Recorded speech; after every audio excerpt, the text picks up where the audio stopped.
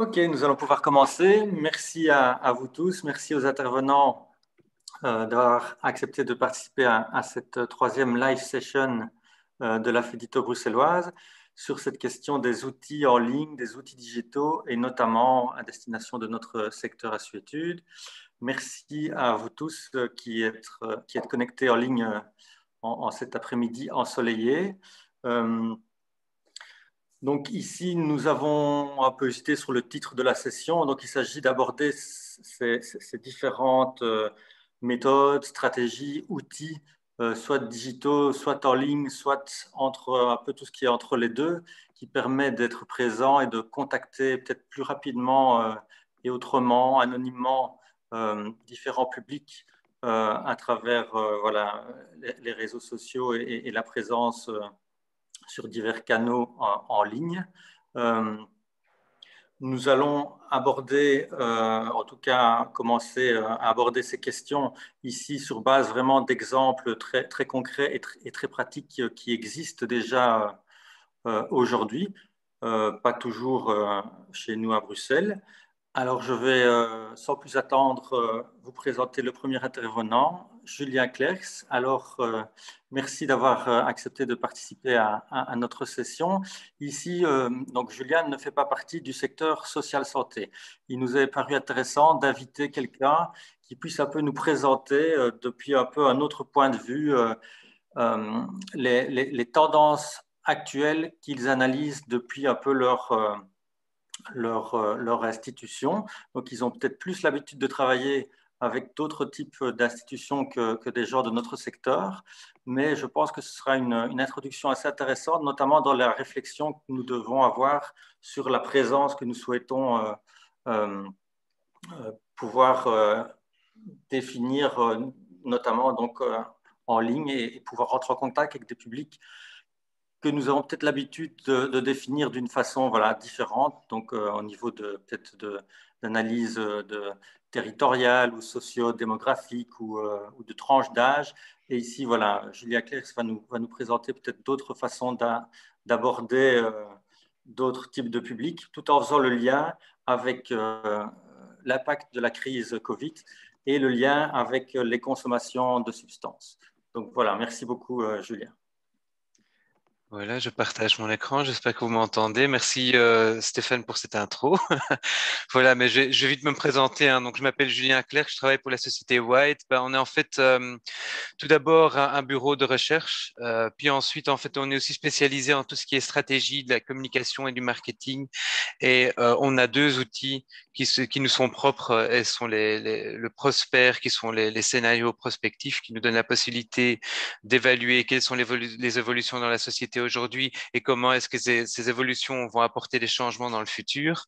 Et puis ensuite, on a aussi nos tendances sociétales et master trends qui en fait vont analyser comment les mouvements dans la société ont eu un impact sur les citoyens et quels sont les moteurs des citoyens aujourd'hui afin de euh, mieux comprendre pourquoi certaines personnes, que ce soit les citoyens ou les consommateurs, prennent certaines décisions. Voilà.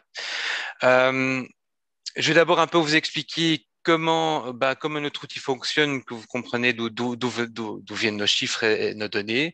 Euh, comme Stéphane l'a dit, je ne suis pas un expert dans la drogue, mais bien sûr, dans la drogue et les dépendances, mais bien sûr, ce qui est bien, ce qui est bien les cas, c'est que comme on analyse ces mouvements de société, bien sûr, il y, a, il y a une certaine consommation qui va avec. Et là, comme on quantifie tous nos, tous nos data, on peut quand même ressortir quelques insights là-dessus. C'est ça que je vais vous présenter. Mais tout d'abord, je vais vous présenter notre outil et aussi l'évolution de la, la communication à travers le temps et comment la manière dont on communique aujourd'hui a-t-elle changé euh, à travers les années. Voilà. Donc, euh, comme je vous l'ai expliqué, donc on a deux, nos deux outils qui sont les master trends, mais on commence toujours, et, le prosper, mais on commence toujours avec les méga trends. Que sont les méga trends? Ben en fait, les, les trends sont les grands mouvements dans la société qui sont vrais partout, qui ont un effet sur l'économie, la politique, le social, etc. Et ça, ça forme notre base. Souvent, ce sont des, grands bureaux internationaux qui, s'occupent de ça. Euh, et nous, on se base là-dessus pour développer notre autre outil, les autres outils qui sont donc les Master Trends, qui sont donc euh, une analyse sociétale euh, des moteurs des citoyens et le Prosper, qui sont donc des, scénarios prospectifs qui nous donnent la possibilité de d'analyser comment la société va-t-elle changer les, les prochaines années et quels scénarios doit-on tenir en compte? Voilà. Ben, bien sûr, tout ça est quantifié. Hein. Donc, on commence toujours avec un trend watching global. On est une équipe pour l'instant de, six et on a, on a tous une expertise différente. Hein. Moi, j'ai une expertise en tout ce qui est politique surtout. Mes collègues, euh, ben, on a une collègue psychologue, collègue économique, etc., etc. Ben, on commence avec un trend watching global. Puis, à travers tous nos groupes de discussion qu'on organise, à travers les différents, euh, ben, à travers les années, euh, on ressort aussi pas mal d'insights de ça. On travaille pour des clients FMCG comme public, privé, euh, et, ça nous donne euh, pas mal, pas mal de données sur lesquelles on peut baser nos tendances. Et puis ensuite, d'une manière quantitative, on va quantifier ces, données pour avoir les chiffres derrière, pour en effet, comme Stéphane l'a dit, identifier certains profils et voir quel profil est sensible à quelle tendance, quelle évolution, etc. Bien sûr, hein, notre pourquoi est-ce qu'on on passe tellement d'étapes parce que parfois on identifie une certaine tendance dont on est persuadé qu'elle va impacter le monde et puis ensuite on remarque dans nos études qualitatives et quantitatives que cette tendance n'est peut-être pas encore assez forte pour tenir pour être tenir en compte. Parfois on remarque tout, tout simplement on s'est trompé. Donc c'est très important et c'est ça une grande différence de, par exemple d'autres d'autres agences qui font tout ce qui est euh, l'analyse de tendance. Ben, on essaie quand même un max de quantifier toutes nos tendances afin d'avoir une preuve afin, d'avoir les chiffres derrière. Voilà. Ben, dans ce contexte-ci, quand on parle de drogue, ben, il y a quand même pas mal de mégatrends dont on va tenir compte. Hein. Il y en a plusieurs, bien sûr, mais il y a par exemple aujourd'hui l'individualisation. On voit que de plus en plus de gens euh, se créent une identité aujourd'hui. Hein. Avant, on a notre identité dépendait de notre parti politique, de notre euh, de, de, la société, de notre place dans la société. Ben, aujourd'hui, c'est moins et moins le cas, et on voit que aussi, par exemple, avec les drogues, etc., souvent, ça fait partie d'une certaine identité, et c'est une identité qu'on qu on est beaucoup moins, on fait beaucoup moins partie d'un collectif qu'avant. Ensuite, il y a bien sûr les technologies qui ont facilité l'accès.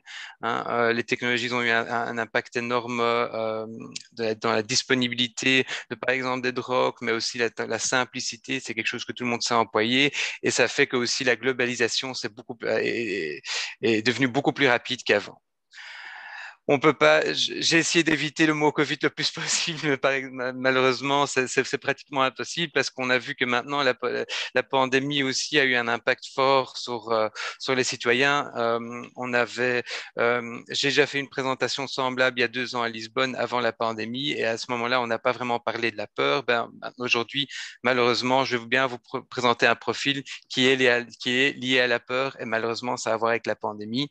La pandémie qui qui a apporté une insécurité auprès des gens, qui a isolé les gens qui justement étaient peut-être sur le, les tendances plus sociables, euh, et ça, a fortement impacté euh, la perception des gens. Et bien sûr, lié à ça, il y a l'insécurité. On a pour l'instant euh, les premières générations qui ont ont vécu que en temps de crise. On parle de crise économique, crise écologique, donc des gens qui ont toujours connu cette insécurité. Euh, et euh, voilà aussi un point très important. Et puis, puis, il y a une tendance qui est toujours présente et qui est, qui est très importante aujourd'hui, c'est le changement climatique. Hein, aussi une, méga trend qu'on doit toujours, dont on doit toujours tenir compte. Voilà. Euh, puisque je voulais vous présenter ici, c'est un peu vous l'expliquer comment la communication a changé à travers le temps. Ben, tout au début, ce qui se passait, c'est qu'il y avait plutôt un monologue des, euh, euh, des médias, des médias et des marques euh, et des institutions, ben, on avait un message et puis en fait, on lançait ce message pour atteindre le plus de monde possible dans une cible qui était en fait à ce moment-là très hétérogène. Euh, bien sûr, il n'y avait pas encore ce dialogue avec les gens comme on avait à avoir à partir de 2004 grâce aux, aux, réseaux sociaux, là où on avait donc la possibilité de justement demander l'avis aux clients, aux citoyens et d'avoir ce dialogue via les réseaux sociaux. Et là, on voit que donc vers le, moteur qu'on a identifié comme étant appartenir justement appartenir à, la société ou à euh, un certain profil, on va de plus en plus vers le partage. Hein. donc le partage d'informations. Et ce qui est, ce qui est intéressant, c'est qu'à un certain moment, cette, cette, cette, tendance a évolué et on a vu qu'on allait de plus en on a remarqué que comme on avait la possibilité de partager notre opinion. Allô? Oui? Ça va et toi? Il y a quelqu'un qui a oublié d'éteindre son micro, je pense. Ah voilà. Euh, euh, voilà. Et donc, euh, donc cette évolution, il y a une évolution vers agir, hein, parce qu'on avait en fait remarqué qu'on avait du pouvoir et qu'on avait la, possibilité de se regrouper, de se rassembler et d'apporter un changement. Et ça, ça, ça, ça a fait qu'à un certain moment, nous, on a, on a attendu des institutions, on a attendu aussi des, des institutions et des marques qu'à un certain moment, qu'ils agissent, qu'ils apportent un changement, le changement que nous, on veut voir dans la société. Malheureusement, on a été un peu désillusionnés. Hein. il y a pas mal de marques qui ont fortement joué là-dessus, euh, mais ça a fait qu'à un certain moment, on a quand même remarqué que ben, on avait un back to reality. Hein. On, euh, euh, les marques nous ont pas apporté ce qu'on attendait d'eux, et ça a fait qu'on a de moins en moins, on les, de moins en moins, on les faisait confiance. Hein. Et et euh, voilà, donc maintenant, avec la pandémie, on se trouve dans une autre situation où, en effet, on a deux attentes. La pandémie va où? D'un côté, euh, apporter des solutions et va, rendre le monde plus humain parce que quelque part, la pandémie a créé une solidarité entre nous. D'autres personnes euh, craignent que justement, cette, euh, cette manque de confiance dans les institutions va s'empirer parce que justement, pendant la pandémie, les institutions n'ont pas agi de la manière dont on l'avait attendu. Et là, je pense qu'aussi, on a vu fortement aux États-Unis où il y a vraiment deux, groupes qui se sont formés, deux différents euh, euh, oui, deux différents types de, personnes qui se sont fortement affirmées pendant, pendant cette, crise, cette crise politique et maintenant aussi pendant la pandémie. Voilà. Donc en fait, à travers le temps, il y a aussi donc on s'est concentré à chaque fois sur d'autres éléments. Tout d'abord, au début, on, était très concentré sur tout ce qui était efficacité, hein, donc les USP, les GRPs, donc les Unique Selling Proposals, hein, vraiment les chiffres en fait hein, derrière, quel était le résultat? Puis ensuite, de plus en plus, on s'est concentré sur le procès. Donc, ça veut dire ben, comment est-ce qu'on y arrive, euh, comment est-ce qu'on peut euh, euh, analyser notre comportement pour être le plus efficace possible, hein, pour justement apporter du changement. Et puis, en fait, les marques et les institutions se sont concentrées sur le sens. Hein, ils ont commencé à développer des philosophies, ils, ont été, ils ont essayé d'être le plus transparent possible pour justement correspondre à ce acte, ce agir, pour, correspondre aux attentes euh, des citoyens et de leurs consommateurs. Et puis alors, de plus en plus, en fait, on est allé vers la motivation. Parce que justement, on remarquait qu'on n'arrivait pas à arriver au sens qu'on c'était difficile. Par exemple, si on, était axé sur toute l'écologie, on voit qu'une marque bah, ne peut pas apporter un, changement complet. Donc, on s'est dit, OK, on va plutôt euh, se concentrer sur une motivation, quelque chose. Donc, le sens devient moins important. On va plus voir comment est-ce qu'on peut créer une dynamique, comment est-ce qu'on peut créer des mécanismes pour essayer de, euh, de se rapprocher quand même de ce but. finalement, comme il y avait ce manque de confiance, on est en fait retourné vers cette efficacité. Pourquoi? Parce qu'on remarquait qu'on n'arrivait nulle part et qu'en fait, toutes ces idées n'étaient pas euh, ancré dans, dans, dans, quelque chose de concret. Donc, on est nouveau retourné à la, la, la, le concret, ce qui fait qu'on a on est apporté, on s'est apporté dans un certain, dans une certaine routine avec des solutions concrètes, mais toujours avec ces besoins d'évasion. Pourquoi ce besoin d'évasion? Parce qu'en fait, la peur qui nous, est, qui, qui, nous est venue avec la pandémie, avec justement cette, euh, cette diminution dans la confiance de toutes ces institutions, ben, ça a fait que quelque part, on a eu, on a eu une envie de s'échapper de ça et d'un peu fermer les yeux parce qu'on était toujours confronté avec des mauvaises nouvelles. Voilà ce que, je vous, ai préparé maintenant, c'est quelques personas, hein, donc pour un peu vous expliquer. Donc, on a nos tendances et en fait, sous base de ces tendances, on a la possibilité de développer des personas. Quels sont des personas? En fait, ces personas sont pas des segmentations, hein, parce que des segmentations, ou bien vous faites partie d'une segmentation, ou bien pas. Les personas, en fait, sont pratiquement des, euh, disons, des caricatures de certaines, de certaines personnes qu'on peut retrouver dans la société. Donc, ça veut dire que certaines personnes entre vous pourrait reconnaître différents éléments dans les différents personas. C'est pas que quelqu'un correspond 100% à cette persona. Euh, je vais vous présenter la première et je vais vous expliquer un peu comment ça fonctionne. Donc, euh, par exemple, ici, euh, euh on, on, a par exemple Kelly qu'on a appelé le friendly enthusiast. On donne à chaque fois, à chaque fois des noms un peu dans ce genre-là. Et en fait, Kelly, euh, en général est un profil qui est ou bien qui est euh, masculin ou féminin, mais souvent sont des jeunes familles qui habitent juste en dehors de la ville. Hein, sont des gens qui sont fortement à la recherche de, joie et malheureusement à cause de euh, à cause du Covid, ces gens-là se sont sentis très isolés et ils ont pas mal de difficultés pendant cette période, hein, parce qu'ils font fortement attention à tout ce qui est convivialité, mais aussi solidarité entre nous. Ce sont des gens qui vont essayer de créer des réseaux entre eux euh, et qui vont euh, aussi justement faire appel aux technologies pour justement faciliter ce contact, mais aussi elles sont aussi des gens qui vont employer l'internet parce que c'est facile, c'est facile à commander des choses, à, à, se mettre en contact avec les autres, etc. Donc pour l'instant, ce sont des gens en effet, comme je disais, qui se sentent un peu perdus hein, parce qu'ils ont perdu leur moment, euh, leur moment entre eux, euh, euh, et ils trouvent très important de be part of the game, donc de faire partie d'un collectif, faire partie de ce qui se passe aujourd'hui dans la société, et aussi de euh, maintenant après le Covid de retrouver ces, interactions avec les autres. Ils ont très peur de tout ce qui est l'individualisme qui se forme aujourd'hui. Hein, sont des gens qui au début étaient très fans de Facebook parce que ça leur donnait la possibilité de se connecter avec des gens euh, qu'ils avaient plus vus depuis longtemps. Maintenant, on voit de plus en plus que ce sont des gens qui vont se déconnecter et qui vont essayer d'organiser plutôt des, des, rencontres euh, offline. Euh, quand on parle de, la drogue ou de, dépendance, ben chez eux, ils vont employer de la drogue parce que ça rassemble les gens. Ce sont des gens aussi qui vont plutôt consommer des drogues en sortie, hein, ou l'alcool par exemple.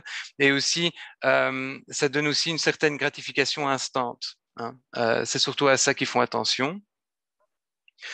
Faites attention des profils que je vous présente. Bien sûr, il y a des profils euh, je vous présente pas tous les profils, mais les profils qui seront les plus importants. Hein. Ici, Kelly, pour l'instant, c'est un profil qui est un peu en diminution. Bah, aussi à cause de la situation. Hein. C'est parce qu'il y a beaucoup de gens qui parviennent plus se mettre dans une situation de, euh, sociale. Puis on a une tendance qui est maintenant euh, en hausse, qui est, fortement en train de monter, qui est la fluidité. Euh, donc ce qu'on voit de plus en plus, c'est qu'on a un profil qui est aussi euh, masculin ou féminin, même si on voit que cette, cette cible de plus en plus ne s'identifie plus avec certains genres. Ce sont des gens qui surtout habitent en ville et qui sont entre 15 et 40 ans. Hein. Euh, bien sûr, c'est pas bien sûr, il y a des gens qui peuvent correspondre à cette catégorie qui sont pas qui habitent en dehors des villes ou qui ont euh, plus ou moins de, de 15 ou 40 ans, mais ici c'est surtout cette cible-là qu'on repère dans les, dans les datas, euh, sont des gens qui vont essayer de, de, d'essayer de redéfinir qui ils sont et qui vont plus suivre les règles de la société. Donc, ils vont essayer de, euh, de, s'exprimer d'une autre manière et de vraiment essayer de trouver une identité et de créer une, nouvelle identité. Ce sont aussi les gens qui ne vont qui vont qui vont inventer leur métier ou qui vont inventer quelque chose euh, parce qu'ils trouvent qu'aujourd'hui la société actuelle ne correspond pas encore à leurs besoins.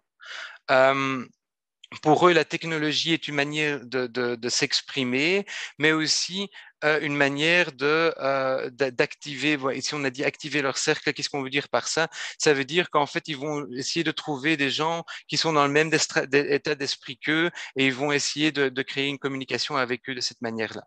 Hein. Euh, sont des gens qui trouvent très important qu'une société donne la possibilité d'être, d'être, d'être qui on veut être et qu'on a cette liberté. Et ils ont très peur d'être jugés euh, euh, et d'être limités dans cette possibilité de s'exprimer. Voilà. Euh, pour eux, tout ce qui est euh, drogue et dépendance, ben, ils sont fortement liés à tout ce qui est réseaux sociaux et ils font très fort attention à tout ce qui est influence. Mais euh, ils vont aussi, les drogues aussi vont donner la possibilité de plus facilement s'accepter. Aussi, ils vont souvent développer un peu leur identité, peut-être autour de, de, drogue ou une certaine consommation. Euh, pour eux, ça, ça, ça fait partie en fait d'une transgression vers réellement être et qui je suis. Puis on a le, profil de Manon qui est pour l'instant en train de descendre, qui est le rebelle. Euh, donc ici aussi, on voit qu'il n'y a pas vraiment de différence entre les différents sexes, aussi plutôt des gens qui habitent dans les villes, euh, euh, classe aisée, entre 15 et 35 ans. Ici, c'est un peu c'est le profil qui a, qui a participé aux manifestations climatiques, par exemple. ils vont venir, ils vont, ils vont ben, ils vont manifester en rue pour, pour, apporter du changement au monde. Euh, et, bien sûr, là aussi, ils vont faire appel aux technologies parce que justement, ça simplifie se, se rassembler euh, euh, et organiser des manifestations. C'est plus facile grâce aux technologies. Hein. Le seul problème qu'ils ont aujourd'hui, c'est que justement, ils ont eu leur manifestation, euh, ils essayent de changer le système, mais ils remarquent quand même c'est moins facile qu'ils pensaient et qu'ils n'apportent pas autant de changements qu'espérés. Et sont des gens qui ont très, peur de, euh, de l'évolution totalitaire et capitaliste qu'il y a aujourd'hui. Euh, et ils vont aussi faire très fort attention à tout ce qui est changement climatique chez eux, quand on voit les relations, les, dépendances et les drogues, ben c'est quelque part, ça fait partie de, euh, de, cette révolte, de cet aspect rebelle qui est dans leur identité, euh, de un peu casser les codes et montrer que que ben, qu'on ose, qu'on ose, qu'on ose être différent et de, de, de agir différemment. Puis on a euh, Met euh, the Self-Quester, donc qui est autour du sens, donner du sens. C'est une, euh, une, euh, une, une, cible qui est, qui, est, qui est, relativement stable maintenant, mais qui a fortement monté il y a deux ans. Euh, une tendance en fait qui nous a surpris à ce moment-là. Très féminin, plutôt en ville, aussi une classe aisée. Euh, donc classe plutôt élevée. Et ici, on parle en fait d'une personne qui, ben, à travers le temps, tout d'abord, on, s'est fortement accroché aux religions. Et puis à un certain moment, ben, on, a été déçu par les religions, donc on s'est tourné vers la science. Et maintenant, malheureusement, comme il y a tellement d'informations et en fait, on ne sait plus vraiment identifier ce qui est vrai et ce qui n'est pas vrai, et il y a une surinformation, hein, en fait, ces gens, à un certain moment, se sont tournés vers la spiritualité. ben, c'est ce profil-ci. Ce sont des gens qui ont dit, ben, on croit plus en la science parce que les acteurs, surtout les acteurs de la science, nous ont déçus. Hein. On voit que souvent, ils, font partie, ils ont même des motivations économiques, et, donc on se pose des questions à quel point l'information qu'on reçoit aujourd'hui est Euh, donc elle, en fait, elle s'est tournée vers la spiritualité, elle a essayé de, découvrir sa propre vérité et de, plutôt se tourner vers le mindfulness. Ben, c'est toute la tendance yoga, méditation qu'on voit aujourd'hui. Et envers les technologies, sont des gens qui vont essayer le plus possible de se déconnecter, mais ils vont bien faire peut-être appel à la technologie pour leur yoga, pour, justement des, des webinaires, par exemple, spirituels, etc. pour eux, en fait, cette, spiritualité leur donne la possibilité de, euh, de oui, to cope, donc d'être euh, euh, d'être en lien, en fait, de, se mettre en ligne en fait avec la société et d'un peu aussi s'évader de la société qu'on a aujourd'hui. Voilà. Euh, donc, ce sont des gens qui vont pas apprécier tout ce qui est matérialisme et qui vont aussi trouver que le monde aujourd'hui est beaucoup trop dur et qu'en fait, on devrait retourner à ce qui est essentiel et c'est euh, notre esprit, c'est notre, spirituel, notre spiritualité. Hein. Pour eux, tout ce qui est dépendance et drogue est surtout en lien avec tout ce qui est des rituels et euh, tout ce qui peut apporter euh, une force mentale, surtout. Puis on a un profil qu'on a euh, appelé Piotr, qui est, euh, ben, on a appelé The Forgotten Male. Euh, en fait, Piotr est, surtout masculin, habite en dehors des villes, en des villes et fait partie d'une classe plus basse. Et en fait, Piotr se trouve maintenant dans la situation où il remarque que, en tant qu'homme blanc, il a de moins en moins de pouvoir et qu'il y a de plus en plus des minorités qui se mettent, qui, qui, qui, qui reçoivent un rôle plus important dans la société. Et ça l'a frustré, ça l'a fortement frustré. Hein, euh, souvent, souvent accroché à des mouvements de droite, il fait attention à tout ce qui se passe dans les, les, les, théories de complot, euh, le dark web, etc. Hein, et lui, en fait, il a constamment ce sentiment d'injustice, le sentiment qu'on on, on est contre lui. Hein euh, donc, ce qui s'est passé, c'est que comme tout le monde, dans ses yeux, tout le monde s'est tourné contre lui, ben, il a dit, ben, si c'est si c'est la jungle, alors ben, on suit la, la, loi de la jungle. Ça veut dire que ben, ça veut dire que si je dois atteindre mon but, tout est bon pour y arriver sont des gens qui aussi sont très frustrés par la globalisation, l'immigration et les privilèges des minorités, comme je viens de mentionner. Et pour eux, donc, tout ce qui est dépendance à la drogue va avoir avec enlever ces chaînes, euh, la, désinhibition, hein, et, aussi justement un moyen de, euh, solutionner ce sentiment de, peur et de, euh, et de frustration. Puis finalement, on a le dernier profil que je vais vous présenter, qui est Karen, qui est donc le, nouveau profil, ben, un profil qui existe depuis longtemps. Hein. Ben, la, peur n'est pas quelque chose de nouveau, il y a toujours eu très fort cette protection. Euh, mais on a vu que quand même le, profil qui était un profil qui était avant très euh, euh, très fort euh, euh, en 2001, entre 2001 et 2010, hein, qu'on a nommé la décennie de la peur. C'était après les attaques à New York et, et, et, qui, ont apporté une certaine peur et une nouvelle vague sur lesquelles les, marques sont fortement jouées. Puis on a vu qu'il y avait une diminution. On allait de plus en plus vers le profil que je vous ai montré de la spiritualité, mais aussi tout ce qui est confort et un peu l'esprit cocooning. maintenant, on revoit que justement ce, cette tendance de, de protection est devenue de plus en plus forte bien sûr aussi à cause de la pandémie qu'on a pour l'instant.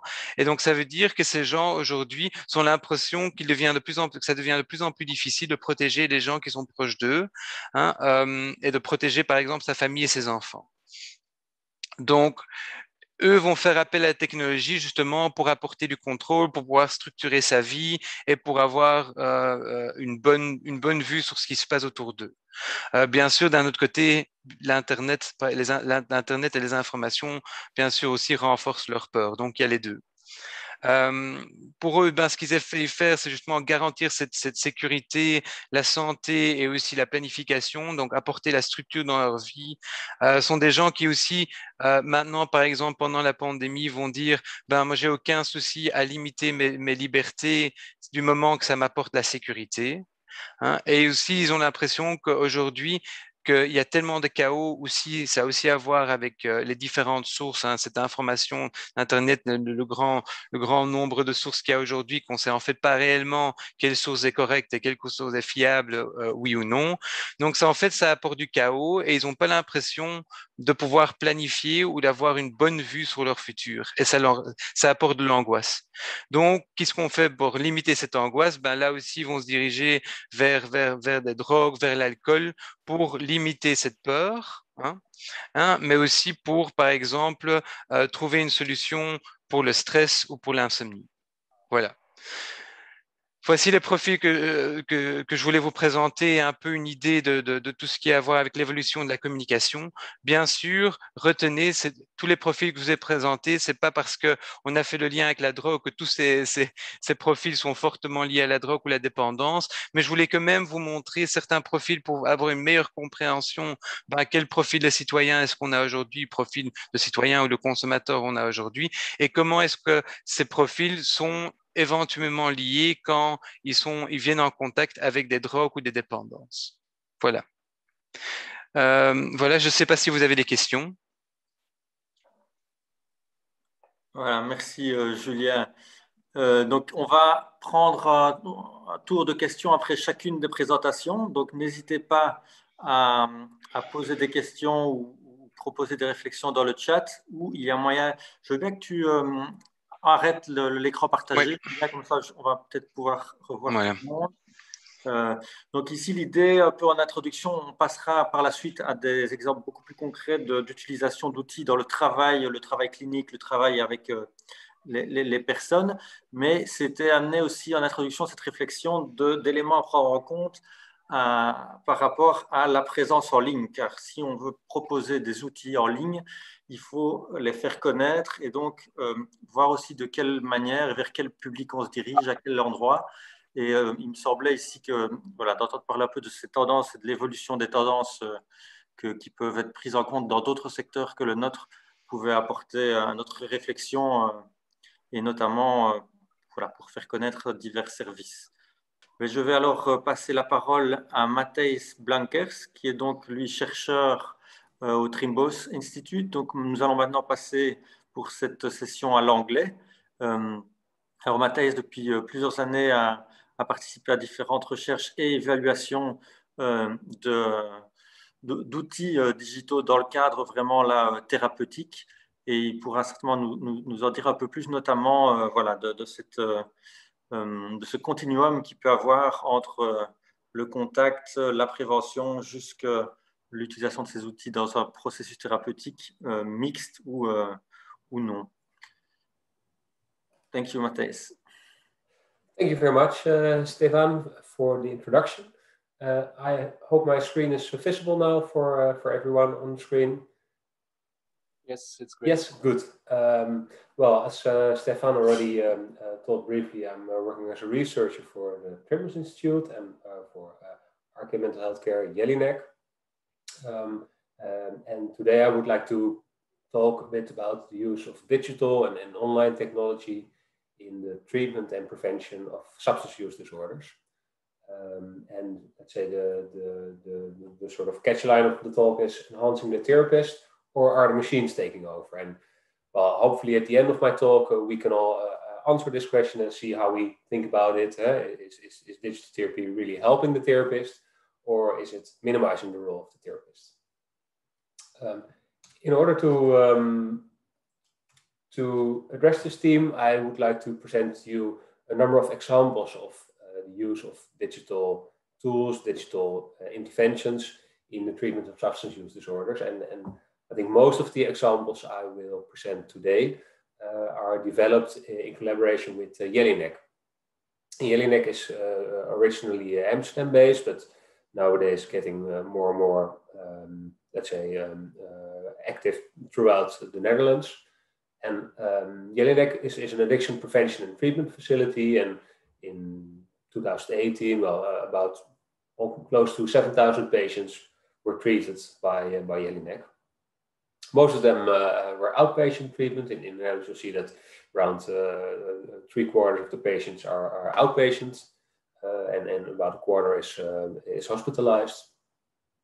Um, and about half of the patients are treated primarily for, um, for alcohol use disorders. Besides being a, a well-known, let's say, physical substance abuse treatment uh, uh, facility in the Netherlands, Jelinek was also at the, the, forefront of using digital technology and, and being online present to do prevention work and later on also to do uh, the treatment for substance use disorders. In 1999, the first website of Jelinek was launched, and since 2003, uh, digital interventions have been uh, have been developed and, and provided to the public. And uh, at this time, it, it, was quite uncommon for substance use treatment centers to have uh, to have digital interventions. So Jelinek really was uh, among the first worldwide to uh, to provide digital uh, digital tools to um, reduce uh, substance use and also to prevent substance use disorders. Um, here you see on the right hand side a number of screenshots of all the way in the top the first Jelinek website and all the way in the bottom the, the the most recent version of the Jelinek website. You see some developments over time. And as I said, it started in 1999 with um, uh, basically a huge knowledge base on, uh, on substances, risks related to substance, uh, treatment facilities, uh, how treatment works, what people could do uh, to prevent substance use disorder. So basically, really a, a big prevention effort. Um, and later on, uh, the tools on the website became more and more interactive. So there became consumption tests and screeners for alcohol use disorders or substance use disorders. Uh, also possibilities to have contact with prevention workers or with uh, therapists. And as I said, around 2003, the first digital or e-mental health interventions were developed. And uh, what's always been a, a, central theme in these uh, interventions of, of Jelinek is that they are based on cognitive behavioral therapy and motivational interviewing, uh, two techniques which are, I think, generally used in the treatment of substance use disorders. Um, uh, they're uh, guideline compliant care in, in the Netherlands. So most, if not all, of the face-to-face um, uh, treatment facilities use to, a certain extent elements of uh, cognitive behavioral therapy and motivational interviewing in face-to-face therapy. And this, these treatment techniques have also been uh, implemented in the digital interventions. And um, more recently, uh, a number of interventions, both guided, so with, with context with a therapist, blended, in which face to face therapy and, and digital exercise are combined, but also um, fully self-help, so without guidance, interventions have been developed for the various uh, substances, so alcohol, cannabis, um, smoking, gambling, cocaine.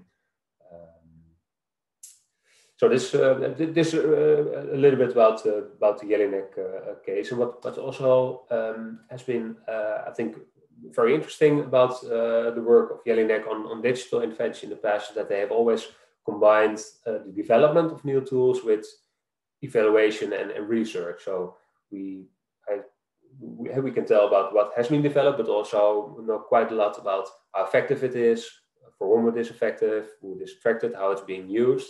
And this knowledge and this sort of cycle of developing, evaluating, developing also really helps to uh, to basically have an evidence-based uh, path towards um, uh, innovation in, uh, in digital technology and addiction care.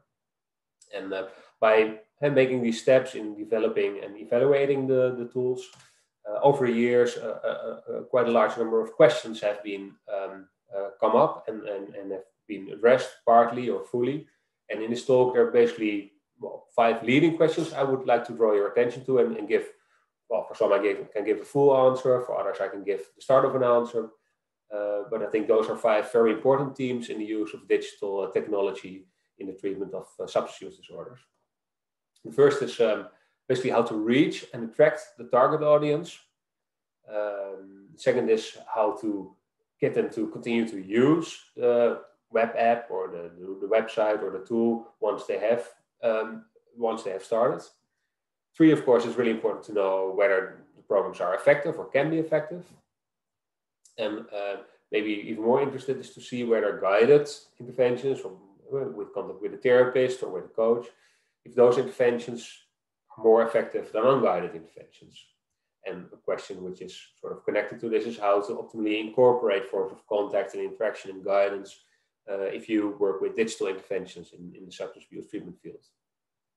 And the last question I want to address briefly is uh, to what extent digital interventions are also suitable for, let's say, uh, severely addicted uh, patients. You've seen in the past that a lot of prevention work is being done online, but uh, in the, in, the, last part of my talk, I'll also give some examples how it's being used for other populations. Um, about reach and uh, attracting of the audience. Well, especially in the last couple of years, um, we've become quite um, successful in attracting patients, basically through quite common uh, techniques. Um, Facebook, Instagram, Google Ads, Snapchat. Well, you name the, the, the common uh, and widely used internet channels and social media uh, on which you can post information or, uh, or either through advertising channels or just through communities. And those, those techniques, how, how basic and commonly used as they are, are really successful, have been really successful for us to, to reach the population we seek and also to get them to use our products. Whereas in the past, we had to go to specific websites and buy advertising banners and, and hope that we could reach maybe a couple of hundred people through those channels. Nowadays, through these uh, generally used uh, social media channels, we, we can really reach the whole population if we want. Uh, or uh, And then more specifically, we can reach targeted portions of the population so that really only the people from which we have quite a big chance that they could be interested or could profit from the, the, the intervention Jelinek or others have developed uh, are, are actually reached. And it's not only us who say that there, there are a number of studies on, on the use and effectiveness of using, for example, Facebook and other social media channels for the recruitment of uh, participants for health research. Um, this is a systematic review, uh, quite recent. And uh, well, you can read, of course, the full paper if you're interested, but uh, well, the, the, the, bottom line is that there's growing evidence to suggest that, that those channels, uh, Facebook is mentioned here, but the same is true for the other uh, social media channels are really effective to recruit participants, either for research or just for uh, to use the interventions. So reach and effectiveness is not uh, is not so much an issue anymore. Um, what is much more difficult is to get them to continue to use digital interventions uh, once they've started. This is already quite an old uh, graph of a, a digital um, uh, self-help, an unguided self-help intervention for people with alcohol use problems, but the picture I think is still uh, uh, still true for today. Uh, when you have freely accessible, open, free of cost digital self-help interventions, you'll see that many users will use the program only once um, or only for a day, couple of exercises, what you could call minimal exposure. And this, this may be related to the fact that they may just be interested to see what the program is like, or that they may find out quite soon that um, uh, that the program is not really something for them. Uh, but of course, uh, you would want to think of ways to maximize the number of people who adhere to your program to a full extent. And uh, this, of course, leaves uh, a lot of room for improvement. Um, in the study, we also saw a, sort of um, uh, mid group, which does much more than um, using the program one day. On average, they used it for, for, let's say, 18 days. They did many of the exercises, but not all. Uh, and the full program here was a duration of at least uh, 30 days. So you can see they, they, they maybe did about half of it. And then there's really a small proportion, but there was really only, a, a, a, well, definitely less than 10% who uh, had optimal adherence, who completed the program, who participated for more than 100 days on average, who did um, many exercises. So we see this really strict, and that's really the, bottom line of this, this sheet. Uh, when you have easy access and people can freely access, uh, you will also see that they quit soon uh, and easily, more than in traditional treatment. Uh, so you need ways to make sure they uh, keep using the, the digital interventions. And luckily, there are things we can do about this, and we have learned since uh, this was from 2007, so well, quite some years back already, and things we do nowadays to reduce this problem and to get people to do more in the program. And what we found out that really helps is things like sending notifications to make sure that people continue to use the program and, and, and them of new elements in, in the intervention they may not have tried. To introduce gaming elements. People, for example, can you earn points uh, when they continue to use the program, finish the exercises, uh, complete the registrations.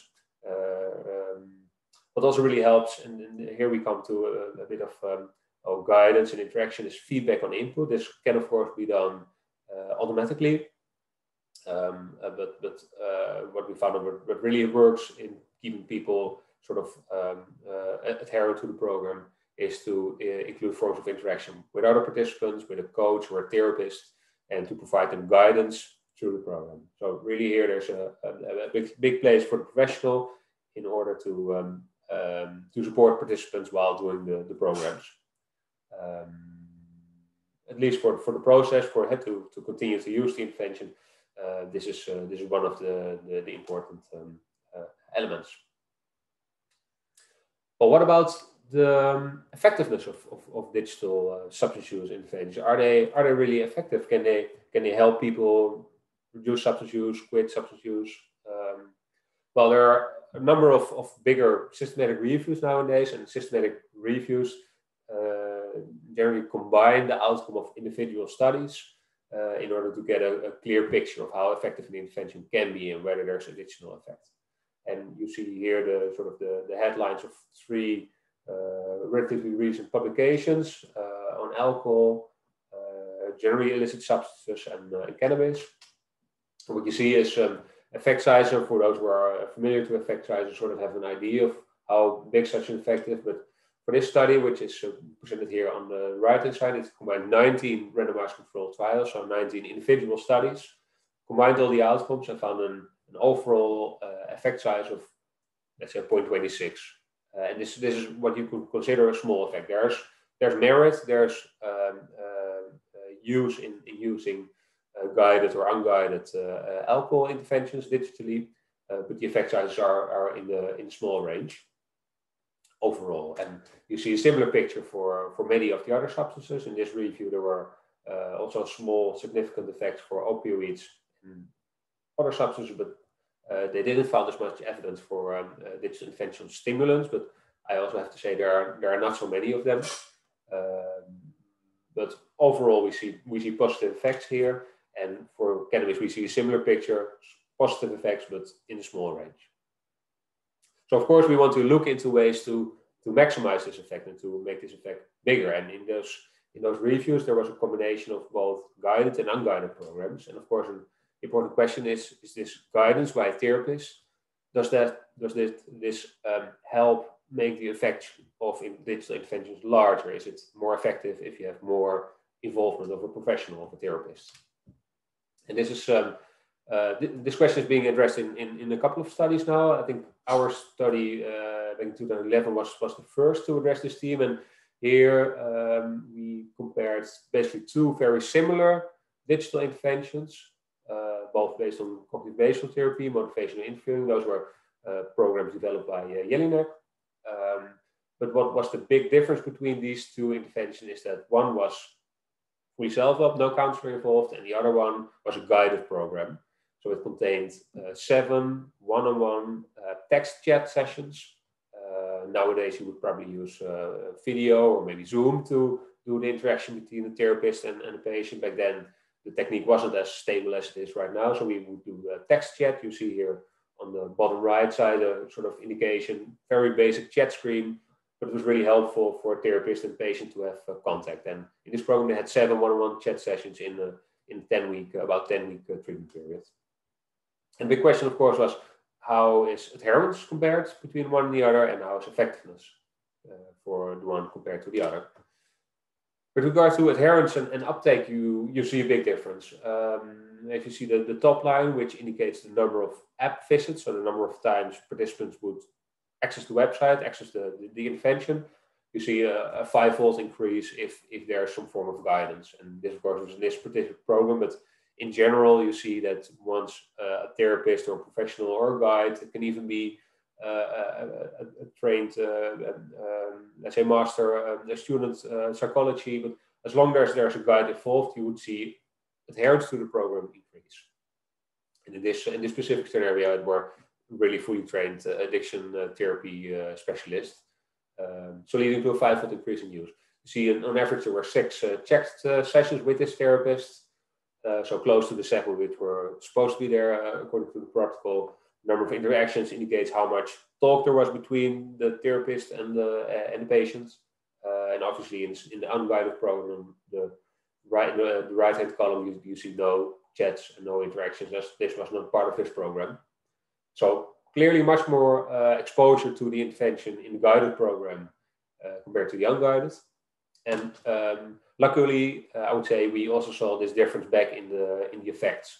Here you see an indication of the number of standard drinks uh, the participants in this program drank baseline, so before participation, three months after start, so when the program was uh, were just about finished, and six months after start, so with a, uh, at least three month period without the treatment. And without going into the details, uh, when they started, they drank about uh, 45 standard glasses per week. So clearly more than any health council would consider um, safe or low risk.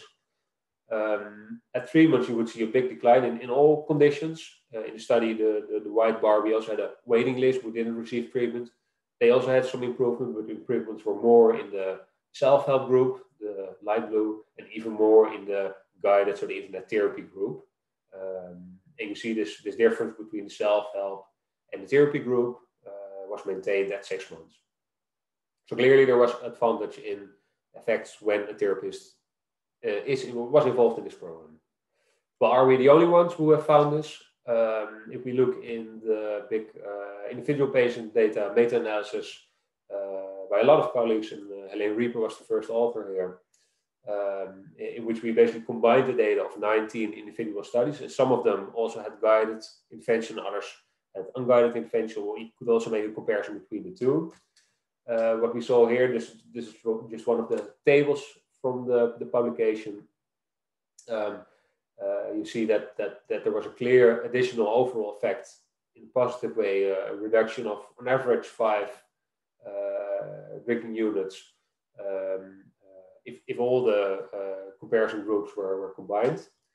And more relevant now is what we see on the bottom here, uh, is that the difference between guided and unguided was in such direction that the reduction in drinks for those who received guidance during their digital intervention was much stronger than those who didn't. So we see here, uh, uh, I mean, the exact figures are obviously different, but uh, we see a, an effect in the same direction. Guided makes it more effective and leads to better adherence. Um, that brings me basically to uh, already to the, the fifth theme I wanted to draw your attention uh, to. Is it also feasible to provide digital intervention for more severe, more heavily addicted uh, uh, populations?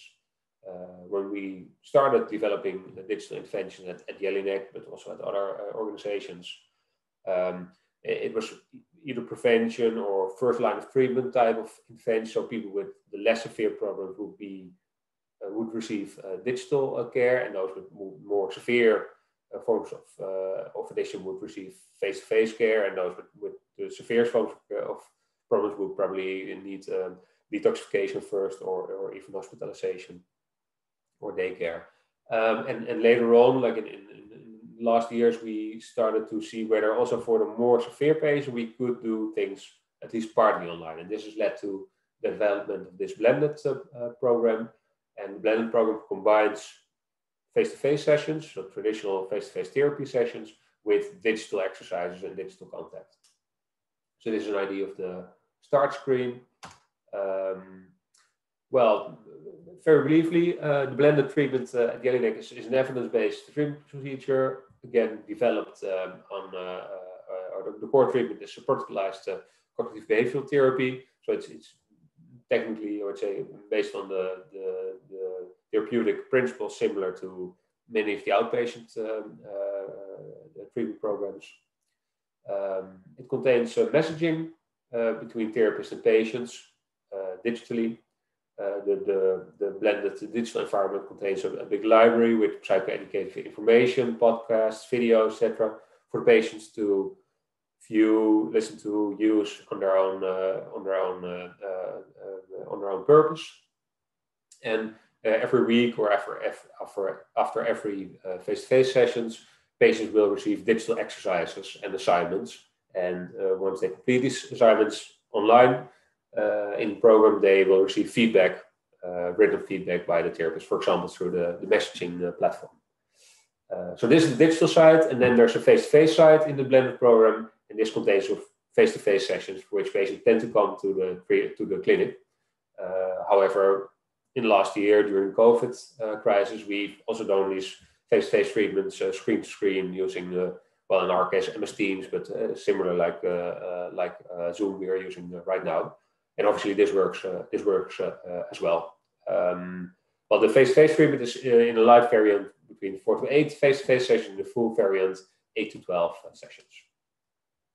Um, what's um, uh, what I think was was nice about the the blended program, which I haven't told yet, is that uh, as soon as uh, people are for the first time at um, at Jelinek and they do the intake, um, once they at, the, at the end of the, the intake talk, they receive their uh, login credentials and they can already start working with in, in the therapy environment. They often they have to wait for a couple of weeks before they can speak to their therapist, but um, uh, using the digital blended platform, they can already do some exercises, make some registrations, and well, one of the things that, that's also there is an introduction video of their personal therapist. At this point, we already know which patient is sort of um, uh, connected to which therapist. So the patient can already see his or her therapist and get to know the person a bit, or at least have the feeling to know the person a bit. And this really sort of lowers the, uh, let's say, anxiety for them when they come to the clinic the first time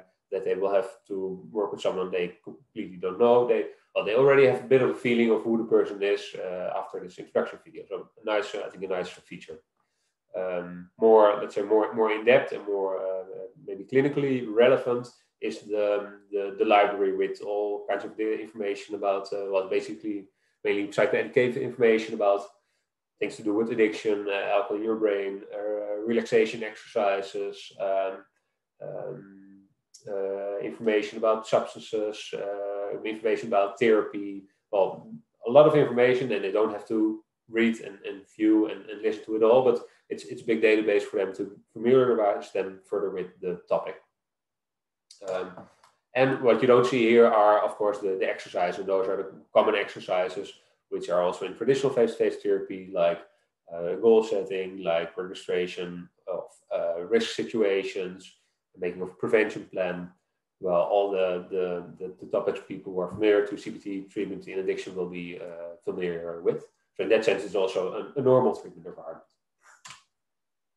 Um, here you see an indication of the use of this program. Uh, we started first developments uh, yeah, already almost uh, almost 10 years ago. Uh, pilot implementation, adjustments. Yeah, well, you'll see that, that once you run the program, there will be adjustments. And so it's basically a continuous uh, development cycle.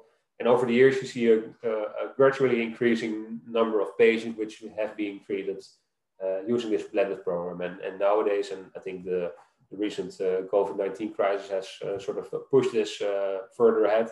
Nowadays, it's basically the, the, the, standard form of treatment at the Jelinek and only, um, only for certain people who really don't want to use digital tools or who are not able to use digital tools, uh, then, then there will be normal traditional face-to-face treatment.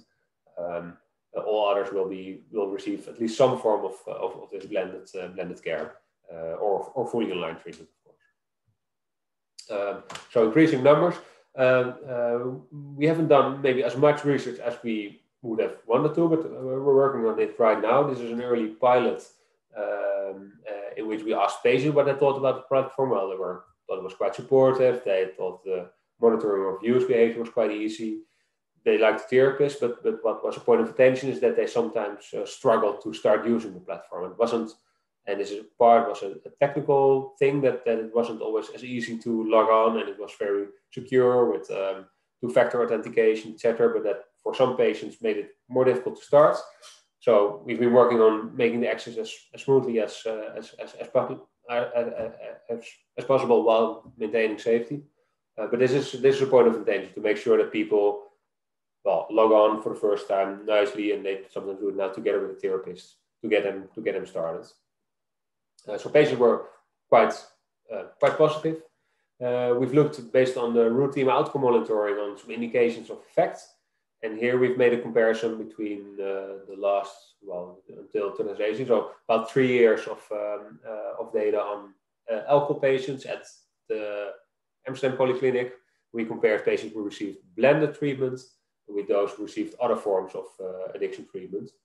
And we've looked at those who were abstinent, those who used um, alcohol moderately, uh, and those who drank excessively before treatment and after treatment. And what you generally see here um, is that that um, the effects are for the blended treatment are I would say at least as good as for the other forms of treatment, and especially when you look at the, the, the proportion of patients who drink um, uh, moderately after treatment, there, there's probably um, maybe even somewhat stronger effects for the blended treatment than for, for the other forms of care. But we have to be careful here. It's not it's not formal uh, RCT. There are differences between the groups but this is a good indication that the blended platform works well, probably as least as good as the traditional forms of care and maybe even a bit better.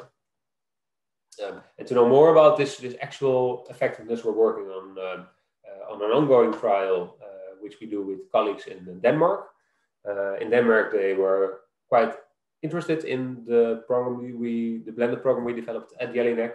They wanted to implement it um, as well, but they wanted to do uh, implementation research once they started the implementation uh, phase. So they do a stepwise randomized controlled trial in which they gradually implement the program in the different um, uh, uh, parts of, uh, of Denmark in collaboration with the different substance abuse treatment centers. And while doing this um, progressive uh, implementation, they measure the effects.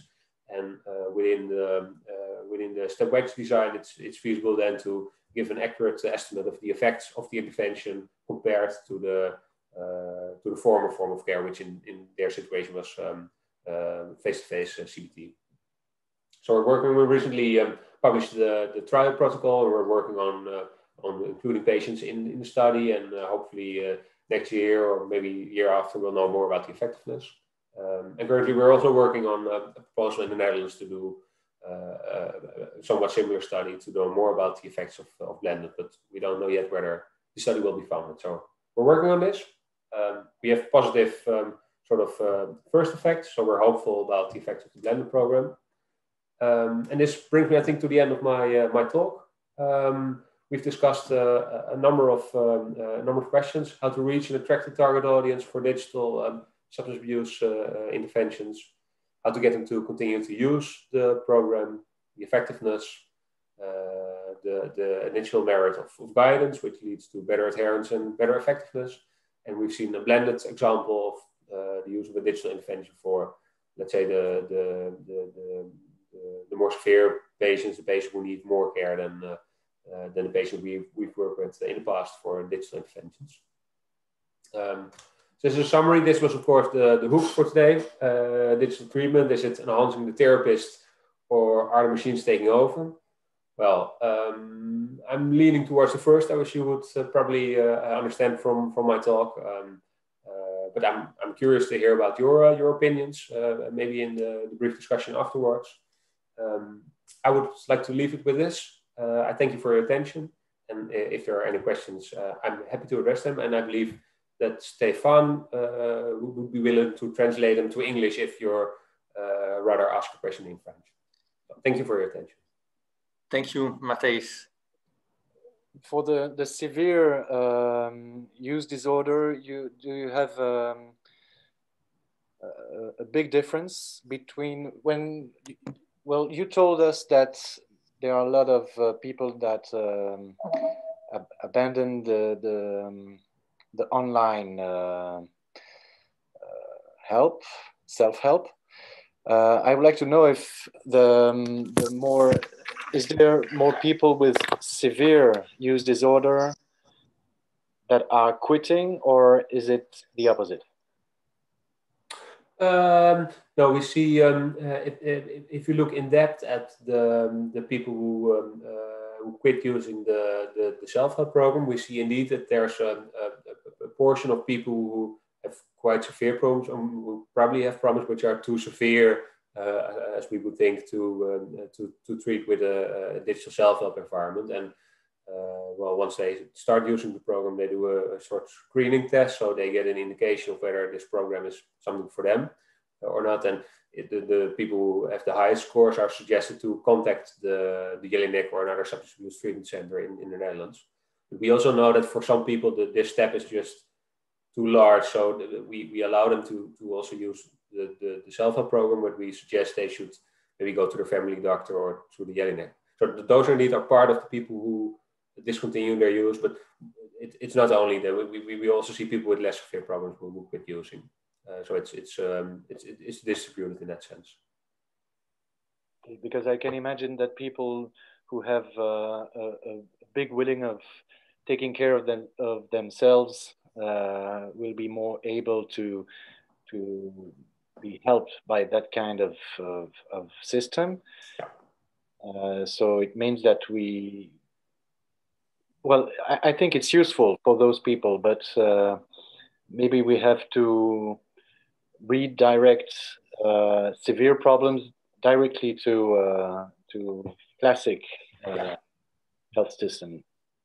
Yeah, definitely. So that, that that's also what we're uh, hey, we're in that sense we're also um, uh, uh, yeah basically do a, a, pre-assessment and to, to to see what kind of help would probably be most suitable to to someone who starts in it and those who have let's say very high scores on, on audit or, or, or other screening institutes for um, for alcohol substance use disorder are basically directed uh, to either to their, their family doctor to get a prescription or or, or directly to to Jelinek. Um, because we, we, we also know that we can help them much better, for example, with this blended program where they have um, uh, weekly or bi-weekly uh, face-to-face sessions with a therapist. And this, of course, really helps them to continue to follow the, the, the intervention because in, in, the blended program, we see relapse rates which are uh, similar or somewhat lower than in the traditional face-to-face therapy. So combination of face-to-face and, and, and online, even for people with more heavy uh, use problems, tends to work uh, quite well. Uh, but indeed, you do a big um, it's a big step for people need a lot of motivation to do a, a, program for a couple of weeks all by themselves. so it's not for everyone. Yeah. I have just a last question. Uh, do you think that those uh, programs, online programs, can uh, reduce the treatment gap um, for alcohol? For for for instance, it's about ninety percent of treatment gap. So yeah. do you, that, that those kind of systems can decrease the treatment gap? Yeah, in, in, in a way they can. Uh, we also know that, that, that the people who start using um, the, the, the, digital uh, self intervention, only only 15 or 20% of, of those people say they would consider uh, going to face-to-face treatment if, if the online offer was not available. So it, it seems that, that with those programs you're able to uh, attract uh, a population which otherwise would remain outside of uh, addiction treatment. And, and also because yeah, it's, it's quite accessible and, and, and, and free to use, you probably pull people in who otherwise would have stayed out. And but on the other hand, really to close or to narrow the treatment gap, uh, yeah, you have to make sure that a lot of people are actually going to use the, the program. And um, uh, and what we found out is is that you if you don't put in a lot of effort, uh, for example, through uh, advertising or other means to get people to know the program and to sort of motivate them to start using the program, then um, um, yeah, then then the actual number of people who are going to use the program and find it by themselves or use it by themselves is, is too limited to really close the or, or narrow the treatment gap to a substantial uh, extent. But in, in, principle, that that could work. And and I think given the number um, uh, Jelinek attracts a couple of thousand people each year now with the self-help programs, and that that of course is a number which is well then then you're then you're then you're coming somewhere. Okay, thank you very much. You're welcome. Is there another question for Matthijs or Julia?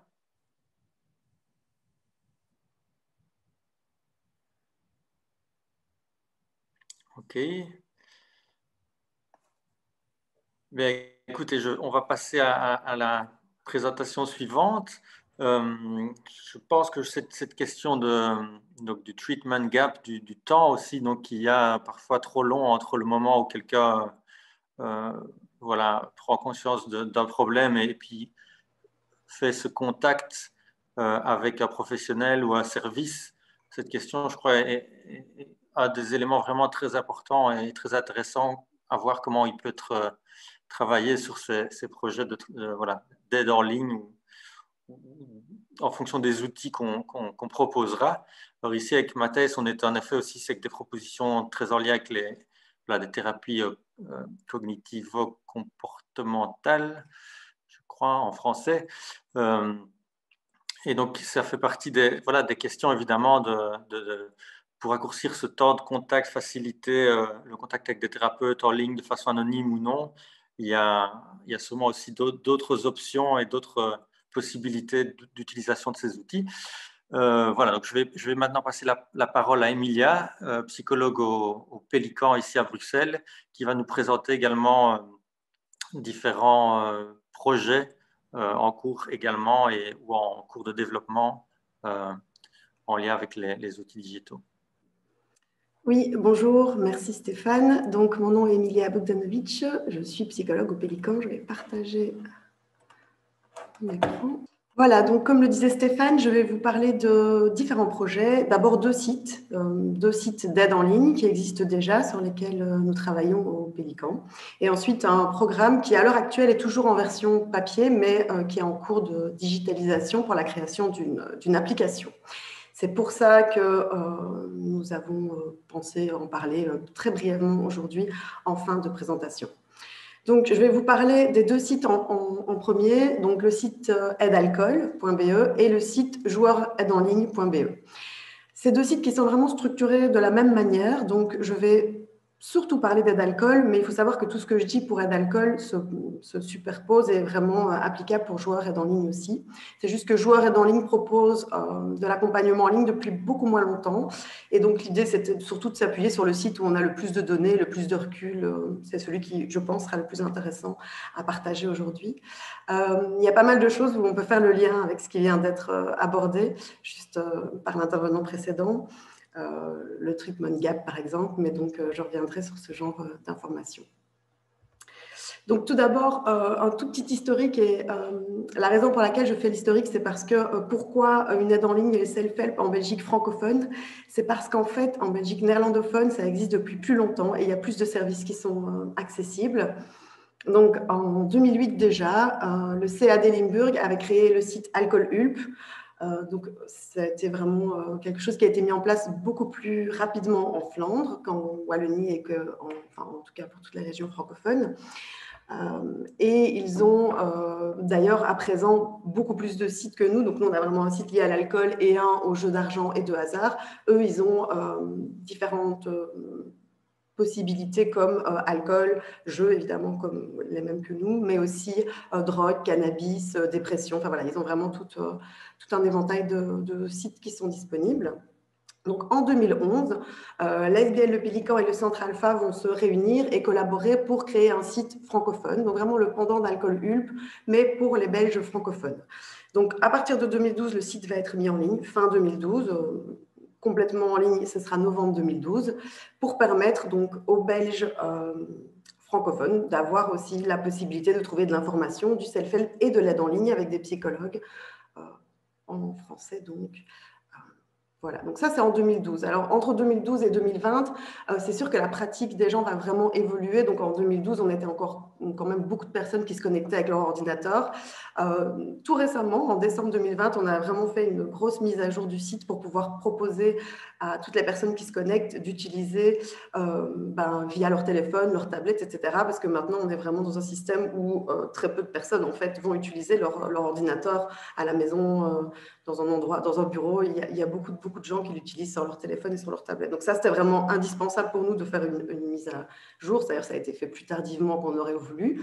Et aussi, ça nous a permis d'ajouter des contenus et de rendre le design un peu plus attractif parce qu'il était quand même euh, assez ancien. Donc ça, c'est pour Aide Alcool. Alors pour le site Joueur Aide en ligne, donc ce site-là, il existe aussi depuis, euh, depuis assez longtemps, donc depuis 2013. En 2013, la commission des jeux euh, de hasard va euh, permettre financièrement à la SBL Le Pélican et au CAD Limburg de créer un site bilingue, aide aux joueurs et Copulp. donc ça, c'est en 2013, mais c'est un site qui ne propose pas d'aide en ligne. C'est vraiment du self-help et de l'information. Euh, donc c'est déjà, déjà super. Donc le site existe depuis 2013 dans les deux versions. Ensuite, euh, ce qui va se passer, c'est qu'au niveau néerlandophone, ils vont avoir euh, une étude qui va être proposée avec une université. Ils vont avoir des fonds pour créer de l'aide en ligne, mais pas du côté francophone. Donc le site va rester tel quel pour le côté francophone, tandis qu'en Flandre, il va y avoir déjà une aide en ligne qui est en place depuis quelques années. Ce n'est que très récemment, donc aussi en 2020, que euh, la Le Pélican a pu vraiment créer une refonte complète du site euh, avec la fonctionnalité aide en ligne, donc des psychologues qui proposent des entretiens en ligne euh, pour soutenir la démarche des personnes qui s'inscrivent. À ce moment-là, le site va changer de nom parce qu'il y a vraiment une refonte totale et donc il s'appelle joueur aide en ligne.be. Alors, pourquoi une aide, en ligne? Donc, il y a beaucoup de choses qui ont déjà été dites, euh, mais je vais quand même très brièvement passer là-dessus. Donc, c'est vrai qu'il faut, faut, revenir en arrière. Hein. C'est sûr qu'à l'heure actuelle, on est dans une toute autre manière de fonctionner. Mais euh, en, 2010, en 2011, euh, on constatait déjà que les gens commençaient à, nous contacter par, par email. Et c'est toujours particulier qu'ils envoient un email qu'on les rappelle. On se dit, est-ce qu'on les touche vraiment là où, où eux, ils sont? Et est-ce que c'est pertinent de les contacter comme ça? Internet était déjà, il y a euh, plus de dix ans, un moyen de communication de plus en plus répandu et utilisé. C'est sûr que là, dernièrement, il y a eu vraiment une explosion à ce niveau. Il y avait déjà pas mal de recherches et d'initiatives en, en, matière de e-santé, donc je pense que ça a été pas mal déjà expliqué juste avant et pas mal de recherches aussi et d'initiatives qui étaient lancées. Donc c'est vrai qu'il y avait moyen de faire des sites, euh, des chats, des emails, euh, des forums, des groupes de soutien, travailler avec webcam ou sans. voilà, c'est déjà quelque chose qui était assez développé en fait il y a déjà euh, une dizaine d'années, au moment où nous on s'est questionné là-dessus. voilà.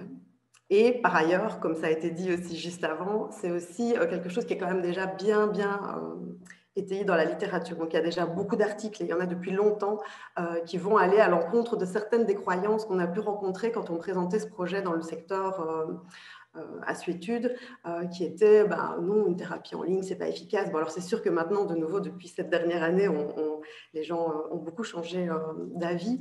Mais il y a dix ans, quand on présentait le projet, c'était vraiment mais non, on ne peut pas faire une thérapie en ligne, c'est pas possible, c'est pas efficace. Eh ben, la littérature le, montrait déjà, il y a déjà des études, et puis je pense que l'intervenant juste après a même montré des choses encore plus anciennes que ce que je cite. Ça fait longtemps que la littérature parle vraiment d'une efficacité qui est démontrée. Une autre, euh, une autre croyance qu'on a, a souvent et euh, qu'on retrouvait beaucoup au début aussi, c'était vraiment cette, idée qu'il n'y a pas moyen de construire une relation thérapeutique en ligne. En fait, c'est pas possible. En plus, nous, on utilise le chat, donc il n'y a pas de visuel, il n'y a pas d'audio, c'est vraiment que de l'écrit. On ne peut pas créer une relation thérapeutique satisfaisante comme ça. Ça, c'était vraiment quelque chose euh, qui revenait souvent. Et la littérature montre depuis longtemps aussi que si, en fait, effectivement, on peut créer une relation thérapeutique satisfaisante. Alors, certains, certains, beaucoup de psychologues sont revenus sur cette croyance-ci récemment parce qu'ils ont dû ils ont dû, par la force des choses, utiliser euh, l'aide en ligne, mais euh, c'est vraiment récent.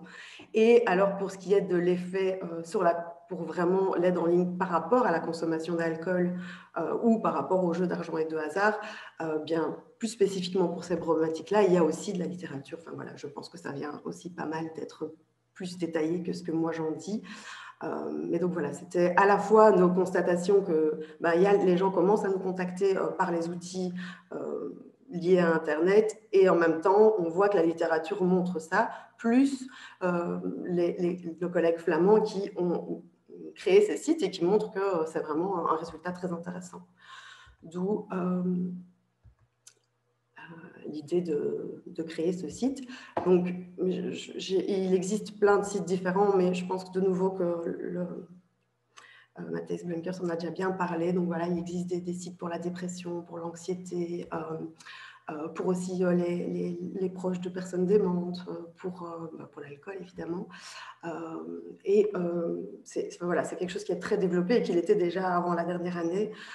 ici, le dernier, c'est le site de nouveau du CA d'Elimburg. Donc eux, ils ont aussi récemment créé un site pour la prise en charge de la dépression. Donc, l'objectif des deux sites était vraiment double. Il y avait à la fois faciliter l'accès à l'information, euh, parce que c'est vrai que sur Internet, on trouve beaucoup, beaucoup d'informations. Euh, il y a moyen de trouver euh, tout et n'importe quoi, en fait, sur Internet. Donc, on voulait pouvoir donner une source d'information qui soit vraiment fiable, qui soit vérifiée, qui soit scientifiquement validée à la fois pour la psychoéducation, mais à la fois aussi parce qu'on sait que le nombre de personnes qui cherchent de l'information liée à la santé sur Internet est vraiment énorme. Euh, donc voilà, et ça n'a fait qu'augmenter avec les années. Donc l'idée, c'était qu'il y ait de l'information sur la problématique euh, de la consommation d'alcool et de jeux d'argent et de hasard. Et aussi offrir une alternative à la consultation traditionnelle en face à face. Donc on n'a pas arrêté nos consultations en face à face. L'idée, c'était d'offrir autre chose, quelque chose qu'on voyait comme une alternative. Donc ici, je vais vous présenter euh, brièvement comment est construit le site. Euh, le site Joueur Aide en ligne est construit euh, sur le même modèle. Donc c'est vraiment quelque chose qui s'applique pour les deux. Donc il est construit en trois parties, une partie information et auto-évaluation, une partie self-help et une partie accompagnement en ligne. La partie information et auto-évaluation, c'est vraiment euh, ben, un maximum d'informations euh, sur l'alcool, sur, les types de dépendance ou de consommation, euh, sur l'impact que ça a, mais aussi la possibilité de se tester. Donc le test d'audit de l'OMS est disponible, les personnes peuvent le compléter et reçoivent un feedback en fonction de, de ce qu'ils ont indiqué pour se positionner par rapport aux recommandations de l'OMS, qui certes sont un peu anciennes, mais ça permet quand même aux personnes de se positionner. Ça va être des informations sur les quantités, sur les habitudes, enfin sur beaucoup, beaucoup de choses. Et il y a aussi des informations pour les proches. Donc, euh, les proches qui s'inquiètent pour euh, c'est comment, comment aborder euh, ça avec, avec mon enfant ou avec mon conjoint, ma conjointe. Voilà, il y a pas mal de choses qui sont disponibles, ainsi que de textes sur des thématiques plus spécifiques comme les jeunes et l'alcool ou l'alcool à l'école, l'alcool au travail, des choses comme ça.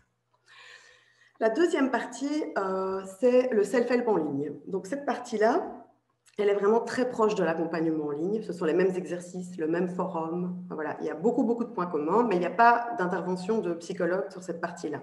La personne a accès à un programme vraiment de façon tout à fait autonome. Donc la personne s'inscrit, c'est une inscription assez rapide, une dizaine de minutes, avec sa ligne de base de consommation, ses objectifs, euh, quelques petites informations comme ça. Ensuite, elle décide de la durée de son programme, elle décide quand elle se connecte. C'est totalement gratuit, anonyme. Euh, la personne y a accès quand elle le désire, elle le remplit quand elle le désire. Il y a des envois d'emails motivationnels, mais la personne peut décider de les recevoir ou pas. Enfin voilà, c'est vraiment euh, la personne fait un peu ce qu'elle veut à son propre rythme. Et elle a aussi différents tests qui sont proposés. Donc, l'idée du site, c'était vraiment de proposer une interface qui soit la plus conviviale possible et donc récemment adaptée à toutes les tailles d'écran pour que ce soit vraiment le plus confortable possible sur un téléphone ou sur une tablette. Donc ça, c'est assez euh, récent, malheureusement, mais c'est fait, donc ça, c'est une bonne chose. Il y a différents articles spécifiques qui sont proposés avec des pistes de réflexion, avec euh, euh, de, l'information. ça, par exemple, ici, l'image qui est ici, c'est l'interface du journal de consommation, donc avec des auto-observations sur tel jour, à telle heure, quel était mon niveau d'envie, puis ça va être aussi les conséquences, les réflexions que ça a engendrées, etc. Ou encore euh, l'exercice avantage et inconvénient. Donc, il y a pas mal d'exercices qui sont proposés. Ici, c'est un exercice aussi euh, sur les valeurs. Donc, ça se veut le plus interactif possible pour que les personnes puissent vraiment s'approprier l'outil. Et ils ont même la possibilité, depuis cette nouvelle version, de s'envoyer des rappels. Donc, d'envoyer un rappel, ils reçoivent un email, ou enfin, c'est eux qui décident comment avoir un rappel et à quelle fréquence de venir pour se connecter. Donc, ça, c'est pour euh, la partie self-help. Pour la partie accompagnement en ligne, c'est vraiment la même structure au niveau des exercices, au niveau des textes et au niveau du forum, euh, excepté que les personnes qui s'inscrivent vont avoir une inscription un peu plus longue. Ils vont devoir indiquer un peu plus d'informations donc, euh, sur leur, leur, médication, leurs antécédents médicaux, euh, leurs affects anxio-dépressifs, peut-être des idées suicidaires ou des tentatives de suicide antérieures. tout ça va être indiqué parce qu'ils vont avoir l'accompagnement d'un psychologue. Un des psychologues, pour aide alcool, c'est un psychologue soit du Pélican, soit du Centre Alpha. Et pour joueurs aide en ligne, ce sont des psychologues de, euh, du Pélican uniquement, qui vont proposer un accompagnement euh, pendant trois mois. Donc, ce sont des chats, ça veut dire que c'est uniquement par écrit. Donc, il n'y a pas de visuel, il n'y a pas d'audio. Les personnes, euh, les entretiens ont lieu par chat uniquement. Alors, c'est un chat comme on les connaît tous sur un, peu, un, peu, partout hein, maintenant, euh, sur euh, Messenger, euh, sur Skype, sur WhatsApp, mais ce n'est pas toutes ces structures-là. Donc, c'est lié à la plateforme du site. C'est un, chat qui est privé et qui est sécurisé sur le site. ce n'est uniquement que sur rendez-vous. Donc, le site, les chats sont disponibles de 8 h du matin à 20 h et euh, du lundi au vendredi plus le samedi matin, mais ce n'est que sur rendez-vous. Donc, ils ont un psychologue qui va euh, les contacter, ils vont fixer un premier rendez-vous, puis ce sera sur rendez-vous une fois par semaine pendant trois mois. C'est euh, dans l'anonymat pour ceux qui le désirent, c'est quand même très souvent le cas, et c'est totalement gratuit pour les bénéficiaires. Et c'est ouvert à tous les Belges francophones à partir de 18 ans. Donc voilà, ça c'est l'accompagnement en ligne. Donc, et ce sont les mêmes exercices, les mêmes fonctionnalités, et aussi le même forum. C'est-à-dire qu'il y a un forum qui est proposé, euh, les, personnes peuvent ouvrir, toutes les topics qu'elles veulent, créer des conversations. Euh, nous, les psychologues du site, nous modérons dans le sens où euh, on vérifie qu'il n'y a pas de propos haineux, qu'il n'y a pas de publicité, mais ce sont les seules interventions que nous réalisons. Le reste, nous, les laissons interagir entre eux, se soutenir entre eux, répondre à leurs propres questions, etc. Donc on est vraiment là pour s'assurer du cadre, mais c'est tout. Voilà à quoi le forum peut ressembler. Donc le site existe depuis 2012. Donc on a quand même pas mal de, on, a, on, a, on, a, pas mal de recul maintenant sur comment ça fonctionne, ce qui fonctionne bien, ce qui fonctionne moins bien. et on a pu vraiment constater qu'on touchait ici un public très varié. Donc, et aussi assez différent en fait du public que nous on rencontre dans nos structures ambulatoires, donc tant à la SBL Le Pélican que au Centre Alpha, qui est également un centre spécialisé dans la prise en charge des assuétudes, mais situé à Liège. Euh, et on constate par exemple 50% de, 55% des personnes qui s'inscrivent pour l'aide en ligne euh, sont des femmes. Euh, ce n'est pas le cas, nous n'avons pas dans nos consultations en face à face 55% de femmes, c'est vraiment, voilà, on voit que là, ça touche un public plus féminin, alors très varié, de 18 à 70 ans, donc on pourrait imaginer que c'est surtout les, je sais pas, les 25-45 qui sont intéressés, mais non. Euh, c'est vraiment, euh, l'échantillon est, très très large. Certes, il y a moins de personnes de 70 ans, mais il y en a quand même. Euh, les personnes ont souvent un diplôme d'études supérieures, donc universitaire ou non, 50%. 70% des personnes qui s'inscrivent à l'aide en ligne travaillent toujours et 50% n'ont jamais parlé de leur consommation à aucun professionnel. Donc c'est là où, on, sent qu'on touche un public quand même différent du public qui, se présente dans nos centres, un public peut-être qu'on touche un peu plus tôt. Donc l'idée du treatment gap qui est, euh, euh, je pense ici, euh, c'est assez révélateur, 50% n'en ont jamais parlé. Donc ici, grâce à l'anonymat, grâce à cette accessibilité aussi, ça leur permet d'aller parler de façon plus rapide à des professionnels de leur consommation qui, par ailleurs, les questionnent parce que c'est eux qui s'interrogent sur leur consommation, c'est eux qui s'inscrivent de leur propre chef, euh, quel que soit leur objectif. Parce que sur le site, nous n'obligeons pas à l'abstinence, ça peut être la modération comme l'abstinence, c'est l'objectif de la personne, c'est elle qui le décide. Donc, par rapport aux visites du site et tout, donc en moyenne, depuis environ depuis 2013, vu que 2012 c'était que deux mois, on a en moyenne 900 000 visites par an, 35 000 tests de consommation, donc le test d'audit, environ 1200 inscriptions au self-help, 500 inscriptions à l'accompagnement en ligne. C'est vraiment assez stable, les variations sont, vraiment minimes. On a environ 1000 à 1200 consultations en ligne, donc 1200 depuis 2017, mais avant c'était plutôt 1000, euh, sauf cette année, en 2020. Euh, en 2020, on a vraiment eu une grosse augmentation des consultations, donc on est passé de, de 1000, 1200 euh, environ l'année passée à 1700 pour l'année 2020. Donc ça a été une grosse année, mais surtout en nombre de consultations en ligne, plus qu'en nombre d'inscriptions.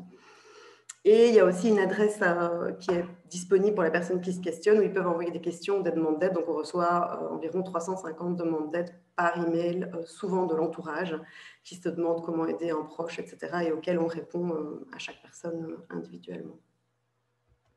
Voilà, donc on avait fait une, une petite étude en 2018 et on avait des chiffres par rapport à l'efficacité aussi du service qu'on propose. Maintenant, ça reste l'efficacité sur les gens qui vont au bout du programme, donc qui font les 12 semaines de suivi, euh, qui remplissent l'évaluation aussi parce qu'on a une évaluation, mais elle n'est pas obligatoire. Donc, euh, donc l'échantillon est, euh, clairement orienté, mais néanmoins, vous voyez une belle diminution après 6 semaines et après 12 semaines de la consommation avec une nette diminution de la consommation d'alcool en verre standard.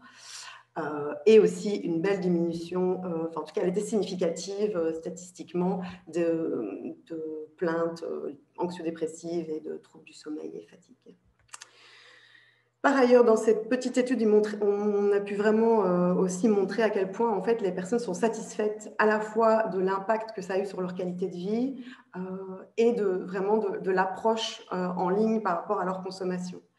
Et enfin aussi par rapport à la relation thérapeutique. Donc c'est vraiment euh, quelque chose qui, nous a permis de montrer. Donc certes, euh, la, littérature le montrait déjà, mais ici avec cette petite étude, on a pu vraiment euh, nous aussi voir qu'après quelques années et, des chiffres assez complets, on avait le même type de résultats. Alors, la même question euh, que précédemment, mais est-ce que c'est la fin du face-à-face? Euh, L'aide en ligne, est-ce que c'est la fin du face-à-face? Mais euh, le suspense, c'est déjà... Voilà, mon prédécesseur a déjà répondu non, non, non, on n'en est pas sur la fin du face-à-face, on est ici sur l'idée d'offrir quelque chose de complémentaire qui va toucher un autre public, peut-être un peu plus tôt, on l'espère, c'est ce qu'on a l'impression, en tout cas au vu du public qu'on rencontre. Donc c'est vrai que c'est une pratique qui est efficiente. Elle est euh, efficiente parce qu'elle améliore l'accessibilité aux soins euh, en matière de santé mentale. Donc c'est plus flexible au niveau des horaires euh, pour les personnes qui habitent dans des régions. Ce n'est pas le cas à Bruxelles, mais quand même, ça a été le cas pendant l'année précédente où les services de soins ne sont pas accessibles pour des raisons géographiques ou des raisons d'accessibilité comme l'année dernière. Euh, mais aussi pour des raisons euh, de, vivre seul avec des enfants à la maison et de ne pas pouvoir euh, quitter la maison le temps du rendez-vous, mais aussi le temps des trajets. Donc ça, ça, permet de le faire depuis la maison, quand les enfants sont couchés, etc. Donc voilà, ça permet de toucher un public en, en augmentant l'accessibilité aux soins. On a pu montrer aussi que ça permet vraiment soit d'amorcer quelque chose, soit de concrétiser quelque chose. En tout cas, on n'est pas dans la baguette magique, clairement, mais on, peut avancer dans, dans dans le processus de soins de la personne, là où elle, là où elle arrive, on, peut continuer le chemin avec elle euh, et parfois vraiment concrétiser des choses et euh, stabiliser des choses qui sont déjà bien avancées, parfois initier des, petits changements. Ça dépend vraiment d'une personne à l'autre. Et on a pu voir à quel point ça répondait vraiment à un besoin d'anonymat, donc c'est vraiment la raison principale qui est... Euh, indiqué par les, personnes qui s'inscrivent, parce que c'est une question qu'elle aurait posée. Euh, pourquoi est-ce que vous inscrivez Est-ce que c'est l'anonymat, etc. Et l'anonymat est vraiment une des premières raisons euh, évoquées à l'inscription. Euh, ça leur permet de passer outre la honte, la culpabilité ou le, regard de l'autre. ça, c'est vraiment quelque chose qui est beaucoup, beaucoup ramené. Par ailleurs, sur l'année qui vient de s'écouler, bah, c'est vrai que de nombreux psychologues ont été obligés, euh, et les patients aussi, de se retrouver en ligne euh, pour pouvoir offrir une continuité de soins. Ça n'a pas été facile pour tout le monde. C'est vrai que nous, on a été pour ça, euh, on a eu de la chance, on, a pu continuer à offrir des soins vraiment en étant déjà très à l'aise avec l'outil, en ayant fait des formations, des supervisions, bah, voilà, tout, ça en lien avec notre pratique en ligne. Donc ça, ça a été une grande chance pour nous de pouvoir continuer et vraiment offrir cette continuité des soins. ben, c'est sûr qu'il y avait déjà une demande. Nous, on la voyait avec les personnes qui s'inscrivaient, mais là, à l'heure actuelle, on voit que c'est encore différent. Il y a une demande qui s'élargit encore euh, liée à toutes les, toutes les situations que nous vivons pour l'instant. Et nous, on est vraiment persuadés que euh, euh, il faut diversifier cette, aide en ligne, mais en s'appuyant sur une expérience et en partant de, de, pratiques déjà bien, bien ancrées. Et il faut diversifier pour élargir l'offre au niveau de la santé mentale. C'est vraiment quelque chose dont on est persuadé. Et donc, oui, elle est efficiente, mais euh, cette pratique, mais elle ne va pas tout remplacer. Et donc, effectivement, déjà, on ne répond pas à toutes les situations. Enfin, en tout cas, nous, euh, on se rend bien compte qu'il y a pas mal de situations de crise qui nous mettent vraiment en difficulté par rapport au chat. Euh, bah oui, on perd de l'information vu qu'on fait du chat, donc on n'a pas tout ce qui est non-verbal. L'écrit est très riche, mais on perd de l'information. Euh, ben, c'est impossible de contrôler l'identité. Donc, c'est vrai que s'il y a quelque chose en lien avec la justice ou quoi, non, on ne peut pas dire oui, oui, on a fait des entretiens avec monsieur ou avec madame. Euh, on ne sait pas, en fait, qui est de l'autre côté, euh, pour certaines situations en tout cas. Et on n'est jamais à l'abri de problèmes techniques, évidemment. C'est en ligne, c'est toujours comme ça. Donc voilà pour les deux sites. Maintenant, je vais vous parler très brièvement, euh, vraiment très brièvement, en deux minutes, du programme Mes Choix. C'est un programme qui a été créé au Canada euh, par des chercheurs et euh, des travailleurs de la santé mentale. Donc c'est c'est un programme qui a commencé par euh, mes choix alcool, donc ça s'appelait Alcochois, et c'était vraiment euh, l'idée d'offrir un manuel aux personnes qui le désirent, qui ont envie d'avoir quelque chose comme ça de structuré, euh, qui peuvent ramener chez eux, un manuel lié à la modération de l'alcool. Au début, c'était que pour la modération, maintenant, c'est pour la modération ou l'abstinence. Ils ont un peu changé leur, leur paradigme, et ils proposent maintenant une version alcool, une version cannabis, une version toute substance et une version jeu d'argent et de hasard voilà, ils ont vraiment diversifié leur offre. Euh, ce sont des, projets euh, qui donc existaient à la base au Canada, puis qui ont été diffusés en Suisse il y a déjà assez longtemps, et depuis quatre ans, diffusés euh, en Belgique francophone et en France. et donc, c'est des, des, manuels qui sont proposés soit en formule guidée, soit autonome, soit de groupe. donc, guidé autonome, c'est individuel, et puis de groupe. Nous, on ne le fait pas au Pélican en formule autonome, on ne le fait que en formule guidée, donc accompagné d'un psychologue ou de groupe. Euh, mais voilà, c'est quelque chose qui est possible, qui est, qui est fait euh, plus par des médecins. Euh, nous, c'est vrai qu'on est une équipe que de psychologues au Pélican. et donc voilà, c'est un programme qui s'étend sur six semaines. donc six semaines, pourquoi? Parce qu'il y a six étapes qui sont proposées dans la réflexion liée à la modération ou à l'arrêt de l'alcool ou d'une autre substance. et ensuite, bah voilà, on peut prolonger parce que chaque personne va à son rythme. On peut aussi prolonger parce que on, utilise ce guide-là, mais en même temps, on fait un travail psychothérapeutique. Enfin, voilà, c'est euh, vraiment très variable et c'est lié à la personne. C'est une approche qui est euh, totalement, euh, enfin, c'est très très proche de ce qui se passe sur Red Alcool ou sur Jouer Red en ligne. C'est une approche qui combine l'approche cognitivo-comportementale, motivationnelle et réduction des risques. Donc, c'est vraiment au niveau de la philosophie de travail et des outils, c'est très très proche des deux sites dont j'ai parlé avant. Et alors, pourquoi est-ce qu'on vous en parle aujourd'hui? Euh, C'est parce qu'en fait, ils, sont, euh, ils ont en projet, pour l'instant, c'est en cours, mais ce n'est pas encore défini quand ce sera disponible, de créer une application donc, il y aurait une application qui serait accessible. Euh, donc, la personne pourrait choisir entre le guide version papier ou l'application, toujours en passant par un professionnel, euh, quel qu'il soit, de la santé mentale ou, un médecin généraliste. Euh, et il aurait accès ensuite à, à, cette approche et il pourrait choisir une version digitalisée si c'est ce qui lui convient. Ce n'est pas encore pour, pour, tout de suite, ce n'est pas encore terminé, mais c'est en cours en tout cas. c'est le projet qu'ils ont pour l'instant. Voilà. Je vous ai mis euh, les personnes à contacter si vous avez des questions. Et j'ai terminé. Merci beaucoup.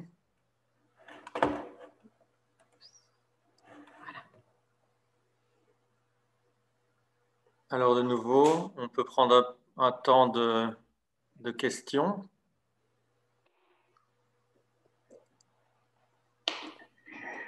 Je voulais vous demander euh, si euh, S'il existe d'autres espaces ou des partenariats que vous, êtes en train de, réfléchir ou de penser pour l'amélioration justement de cette offre en ligne? Euh,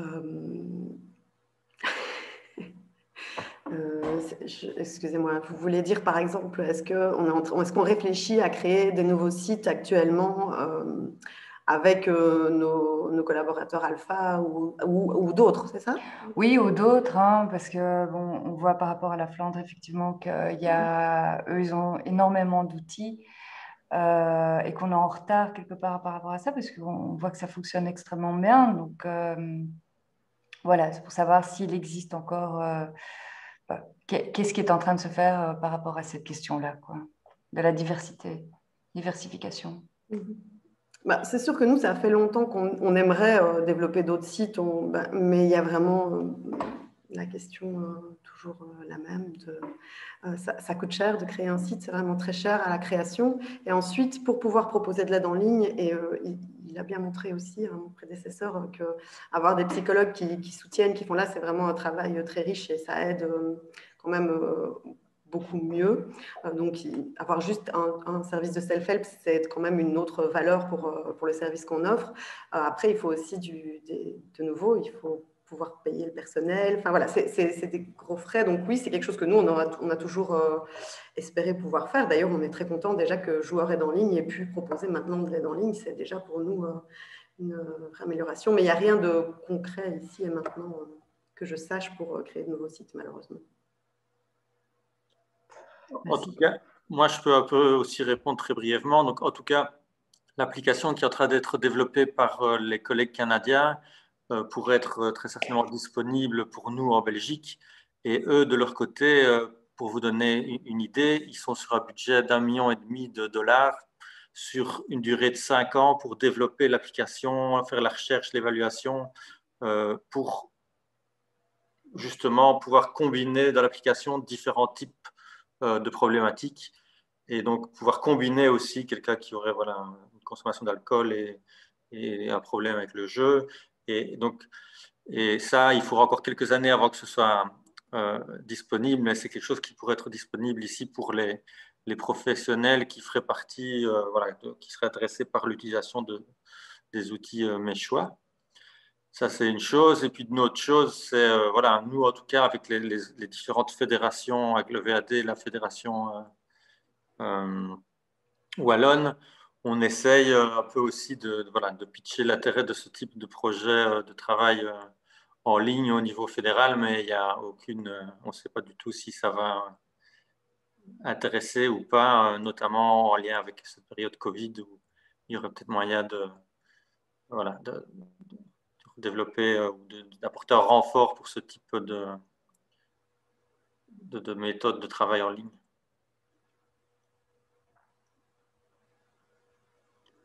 Moi, j'avais une petite question aussi. Est-ce que dans ce travail euh, euh, donc par chat, il vous arrive avec les personnes aussi de passer à autre chose, de dire voilà, maintenant, si vous souhaitez, ou de proposer une autre modalité thérapeutique oui, tout à fait. Ben, J'avais peu de temps, donc j'ai été le plus, euh, le plus euh, to the point. Mais euh, effectivement, l'objectif, c'est pas. on sait que trois mois de chat, ça va pas. On ne peut pas faire de miracle en trois mois par chat. Mais on peut, ben, comme je disais, soit amorcer des choses, soit vraiment ancrer des choses qui étaient déjà mises en place, mais qui étaient encore un peu fragiles. Et alors, oui, effectivement, on a comme objectif, nous en tête, tous, tous les psychologues qui travaillent sur le site, l'idée de réorienter c'est pas toujours nécessaire ou les personnes ne sont pas toujours en demande. Donc c'est en fonction de ce que eux veulent. Mais effectivement, il nous arrive d'orienter vers euh, une hospitalisation. Clairement, un médecin généraliste, ça, c'est une des premières questions s'ils n'en ont pas, euh, qu'on va questionner avec eux. Euh, déjà, s'ils veulent faire un sevrage, on leur explique que ce n'est pas possible sans médecin.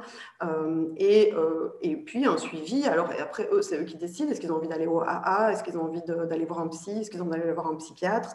Un médecin C'est vraiment eux qui décident. Est-ce qu'ils ont déjà un psy et qu'ils seraient OK euh, d'en parler avec leur psy Parce que parfois, ils sont pas, ou leur médecin généraliste, parfois, ils ne sont pas OK. Et qu'est-ce qu'ils se sentent plus à l'aise enfin, voilà. Mais oui, effectivement, en général, nous, on a, on a cet objectif-là toujours en tête. Merci. D'autres questions pour euh, Emilia Bogdanovic?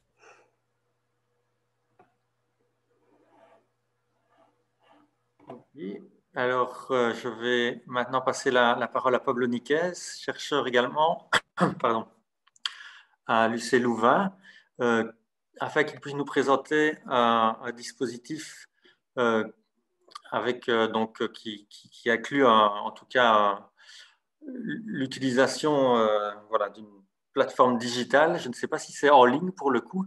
Il va nous en dire plus. Expliquer. J'ai expliqué, comme tout le monde, je vais partager mon écran. Voilà. Bon, la présentation que j'ai ici est en principe prévue pour quelque chose d'un peu plus long que l'espace que tu nous laisses, Stéphane, mais je, suis, euh, je te remercie beaucoup de nous, laisser présenter euh, ceci. Euh, je vais donc donner quelques éléments clés essentiels pour qu'on comprenne bien de quoi il s'agit. Mais tu as eu la gentillesse de mettre sur le, lien, sur le site de la Fedito un lien vers un film, un petit film qui dure 7 minutes, je crois, de présentation de, cette intervention. Et si vous utilisez ce lien, vous tomberez sur une page de l'université où il y a aussi deux autres, plus, deux, autres vidéos plus didactiques, je dirais, pour qu'on voit en pratique comment ça fonctionne. Donc, euh, pour, pour, répondre à toute une série de choses que je ne pourrais pas expliquer en détail maintenant, je vous invite à, aller jeter un œil euh, à ces vidéos. Alors, il s'agit donc d'un projet qui s'appelle, comme vous le voyez, euh, Egonet, euh, qui, a été, qui est soutenu, qui, est un projet de recherche qui est toujours en cours jusqu'à la fin de l'année, qui est, soutenu par euh, la région bruxelloise, par le programme Innoviris, et, euh, et qui tourne autour de, la promotion du réseau de support social de personnes. Alors nous, dans notre groupe, on a travaillé essentiellement avec des personnes qui ont des problèmes de santé mentale plus chroniques, plus, plus sévères, mais c'est très probablement une technique euh, qui peut s'appliquer à toute personne en demande d'accompagnement et de soins et qui est dans une situation de vulnérabilité sociale. Alors, euh, voilà, je parle de réseau de support social. Donc, euh, un réseau de support social, c'est l'ensemble des personnes qui interagissent autour d'un individu pour lui apporter du soutien, en ce compris les, liens, les relations que ces personnes peuvent entretenir entre elles. Euh, un, réseau de support social permet d'apporter plusieurs types de soutien, euh, du soutien émotionnel, Hein, avoir un réseau de support social, c'est des gens autour de soi euh, qui, euh, qui, proposent une écoute, à qui on peut se confier, euh, à, à, qui on peut raconter ses difficultés. Mais c'est aussi du soutien matériel. Ce sont des gens qui peuvent aider, apporter une aide pratique, faire un prêt matériel, etc., etc. Et c'est aussi du soutien cognitif. C'est un soutien pour euh, ben, pour comprendre des choses qui arrivent à certains individus, pour, prendre des décisions, avoir des conseils, de l'information, etc. Euh, et donc, le réseau de support social peut être composé de personnes qui sont des proches d'un individu, des membres de la famille, des amis, des voisins, des connaissances diverses, mais aussi évidemment des professionnels, euh, des professionnels de tout type, hein, des médecins, des psychologues, mais aussi des, pères aidants, et ça peut être des individus ou ça peut être des services ou des groupes, donc des, collectivités, des institutions. Alors, euh, pourquoi s'intéresser au réseau de support social des usagers euh, dans le cadre qui nous intéresse, des usagers de la santé mentale, mais on va dire des usagers de services en général euh, Eh bien, l'intégration sociale, c'est finalement pour pas mal de personnes un objectif prioritaire au-delà de soins, de traitement, de, soins de, de, gestion de produits, etc. On sait bien que l'intégration sociale est un, une espèce de, substrat nécessaire à pouvoir soutenir d'autres pratiques de traitement. Et euh, l'intégration sociale, c'est, in fine, avoir un, un logement, avoir un revenu, idéalement un emploi, mais en tout cas une forme de revenu, et pouvoir avoir des relations sociales et des activités sociales. Deuxième raison de s'intéresser au réseau de support social des usagers, c'est parce qu'on a une multitude d'études qui ont étudié cette question et qui montrent que les personnes qui sont en précarité sociale, en demande d'aide, en vulnérabilité, on peut, on peut mettre toutes les étiquettes qu'on veut, mais ont des réseaux de support social qui sont généralement différents de ceux que l'on trouve dans la population générale moyenne, des réseaux plus petits, des réseaux moins diversifiés en termes de type de personnes euh, que l'on y trouve, des réseaux dans lesquels il y a plus souvent de la famille ou évidemment plus de professionnels et moins d'amis, et aussi des réseaux dans lesquels, euh, donc c'est la phrase qui est indiquée avec moins de cercles et plus d'isolés, euh, des réseaux dans lesquels euh, il y a moins d'univers différents. Donc, une, personne moyenne, généralement, a plusieurs cercles de connaissances, ses relations professionnelles, ses amis, sa famille, les relations qui sont tissées à travers des activités qu'on peut avoir, du sport ou une activité culturelle. et, ces, cercles ne se superposent pas ou, en tout cas parfois partiellement, mais sont relativement distincts les, uns des autres. Et on peut voir que dans les personnes qui sont en précarité sociale, euh, la plupart des domaines d'activité sont reliés au même cercle d'individus ou de personnes. Euh, voilà. Et enfin, peut-être une troisième bonne raison de, travailler avec le réseau de support social, c'est que le réseau de support social, euh, ce sont des ressources que la personne qui est en demande d'aide possède. Euh, ça permet de l'impliquer, ça permet d'utiliser les, éléments qui sont caractéristiques de cette personne dans la proposition d'un traitement, d'un accompagnement, d'un suivi. Euh, et ça permet aussi de pouvoir identifier des personnes de l'entourage qui peuvent contribuer à ce soutien. Voilà. Alors, pour que vous compreniez bien la logique de l'intervention, euh, l'intervention fonctionne autour euh, d'une cartographie de ce réseau de support social. Alors vous voyez ici, on a un usager, et donc l'usager peut être entouré de toute une série de personnes, des membres de la famille, des, un partenaire, des voisins, et puis des professionnels. Et ces personnes sont non seulement en contact avec l'usager et lui apportent donc du soutien matériel, cognitif, émotionnel, mais ces personnes sont aussi parfois, souvent, peuvent être en contact les unes avec les autres. Eh bien, le, sociogramme, c'est une carte qui va représenter l'ensemble de ces liens, qui permet de euh, d'identifier des spécificités de la situation sociale euh, de, de l'usager. Donc voilà ici une carte euh, dans laquelle on retrouve, donc c'est un sociogramme d'un usager. Alors, quand j'ai un petit peu le temps, je prends le temps de dire aux gens, tiens, qu'est-ce que vous voyez là-dedans? Est-ce que, vous, détectez des choses? Je vais malheureusement pas avoir le temps de faire l'exercice avec vous, mais juste pour vous illustrer ce qu'on voit sur cette carte, vous voyez par exemple, oui, donc un petit élément que j'ai oublié de préciser, c'est que l'usager n'est pas représenté sur cette carte parce que par définition, l'usager est en contact avec toutes les personnes qui sont euh, présentes dans ce graphique. Donc ici, on a gardé que les relations qui existent entre les personnes autour de l'usager. Et donc, sur cette carte, par exemple, j'ai juste pointé un exemple. Vous pouvez voir qu'il y a euh, un psychiatre qui est en plein centre du, graphique.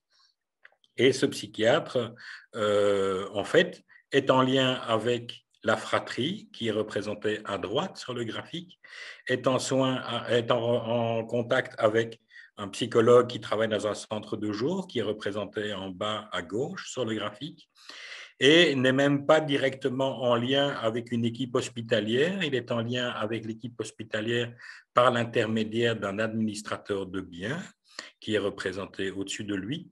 Mais par exemple, ça veut dire que dans le réseau de support social de l'individu qui est représenté ici, si ce psychiatre disparaît du réseau, si pour une raison quelconque la relation entre l'usager et le psychiatre se rompt, il se fâche, ou euh, le psychiatre tombe malade, ou prend sa pension, ou, que sais-je, il disparaît de ce réseau, eh bien, il n'y a plus de contact existant entre la famille et les autres professionnels, à part l'usager lui-même qui fait contact entre ces univers, ce qui peut être un problème dans la manière dont certaines activités ou certains, toute, une partie de l'accompagnement peut avoir été organisée sur l'usager. Donc tout ce que je viens de vous montrer, c'est pour vous expliquer ce qu'est un sociogramme et vous expliquer en quoi il peut être intéressant d'avoir une information plus détaillée sur ce sujet-là. Voilà, je vous ai dit, il y a d'autres éléments, euh, mais je, les passe parce que je n'ai pas beaucoup de temps. Si ça vous intéresse, on peut, on peut en rediscuter. Euh, alors, en pratique, ça fait de nombreuses années qu'on travaille sur cette question et avec le temps, on a donc mis au point une intervention, on peut appeler ça une intervention, ça reste exploratoire, mais en tout cas un outil qui maintenant est informatisé et qui permet de travailler à cette question du réseau de support social. Alors l'outil informatisé, c'est un ensemble de choses. Euh, c'est un outil qui permet de, de, collecter des données de créer cette carte que, que vous venez de voir là maintenant. Ça se fait par l'intermédiaire d'une application informatique qui s'appelle Network Canvas et que nous n'avons pas développée nous-mêmes. Nous avons utilisé une application qui existe et qui permet de faire ce genre de choses. Là où nous apportons quelque chose de supplémentaire, c'est que nous avons connecté cette application à une base de données, euh, ce qui permet de renvoyer aux utilisateurs ce qu'on a appelé un rapport primaire, c'est-à-dire un rapport, on va dire, descriptif des informations qui sont collectées, donc la carte de réseau, une liste de personnes euh, qui sont autour de l'individu euh, et une série d'informations complémentaires que l'on a à son propos.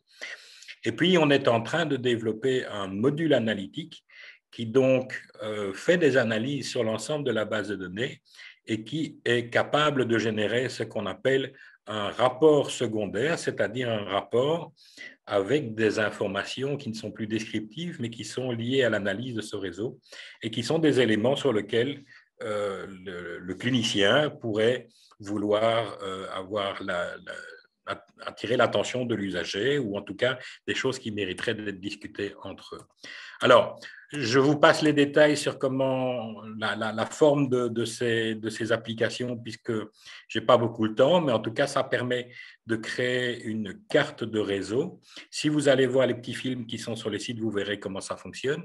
Et il y a une page euh, web qui est, qui est évidemment uniquement accessible aux personnes qui sont euh, inscrites dans le programme. Tout ça est un outil euh, qui a été euh, longuement travaillé pour être sécurisé, crypté, etc. Mais donc, euh, l'usager et le, professionnel qui ont créé un sociogramme peuvent accéder à des informations autour de ce, sociogramme et utiliser une série de paramètres pour visualiser un certain nombre de choses. Donc, vous voyez par exemple ici la liste des personnes qui sont citées, les domaines sur lesquels ces personnes peuvent apporter de l'aide et du soutien, et alors une cartographie de, ce réseau de support social que l'on peut manipuler, c'est-à-dire on peut changer les couleurs, les formes pour mettre en avant un certain nombre de, caractéristiques, par exemple les professionnels et les proches, ou, euh, vous voyez qu'il y a des cercles d'importance, donc des, des choses de cet ordre-là. Si vous allez voir les petits films, vous verrez ça en détail. Alors, concrètement, pourquoi je vous présente tout ça? Je vous présente tout ça parce qu'on en est maintenant à une étape de développement de cette intervention où il serait intéressant qu'elle soit maintenant utilisée euh, dans une diversité de contextes et avec une diversité de, types de personnes différentes. Pour l'instant, tout ça a été développé avec l'aide de, quelques patients et de quelques services, mais relativement limités. Euh, et, et, donc, on aimerait maintenant que ça puisse être utilisé dans une plus grande variété de contexte pour pouvoir évaluer si euh, c'est faisable, si c'est utile ou si c'est approprié au travail qui peut se faire dans différents services. Euh, alors, ça fonctionne avec une tablette. Hein, euh, globalement, il y a un intervenant et un usager qui se retrouvent autour de la tablette, ce qui a l'avantage, comme c'est un outil tactile, on peut manipuler ça à deux. Et donc, euh, la durée de l'intervention va varier entre 30 minutes et 2 heures en fonction du fait que si on crée juste le sociogramme et qu'on collecte les données, ça prend une trentaine de minutes. Si on en profite pour faire un entretien autour de la situation sociale de la personne, évidemment, ça peut durer plus longtemps. Euh, voilà, comme je n'ai pas beaucoup de temps, je vais vite passer là-dessus. Euh, peut-être que ce sera plus facile que j'en dise plus en répondant à vos questions. Mais donc, euh, Stéphane, je t'ai aussi donné une copie de ce PowerPoint.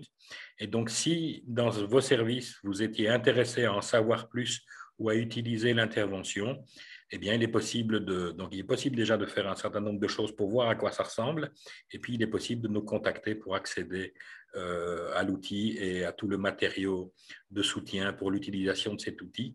Et si le PowerPoint est diffusé, eh bien, vous prenez contact avec moi ou avec mes collègues pour faire cela. Voilà, je vous remercie de votre attention et puis je vais répondre à toutes vos questions, bien évidemment moi, je confirme en tout cas que sur la page web de cet événement, nous mettrons euh, dans, très rapidement les, les, PowerPoint que les intervenants nous sont d'accord de nous, de nous donner ou d'autres informations complémentaires. D'ailleurs, on, peut l'ajouter également et le, et le film, donc l'enregistrement ici de cette session Zoom. Avez-vous des questions pour euh, Pablo Niquez?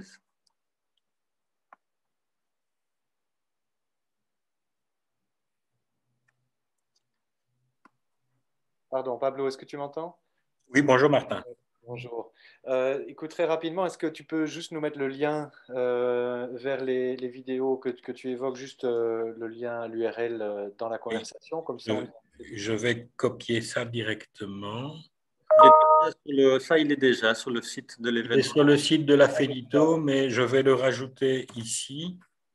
Comme ça, ce sera aussi facile discussion, où est-ce que ça se trouve?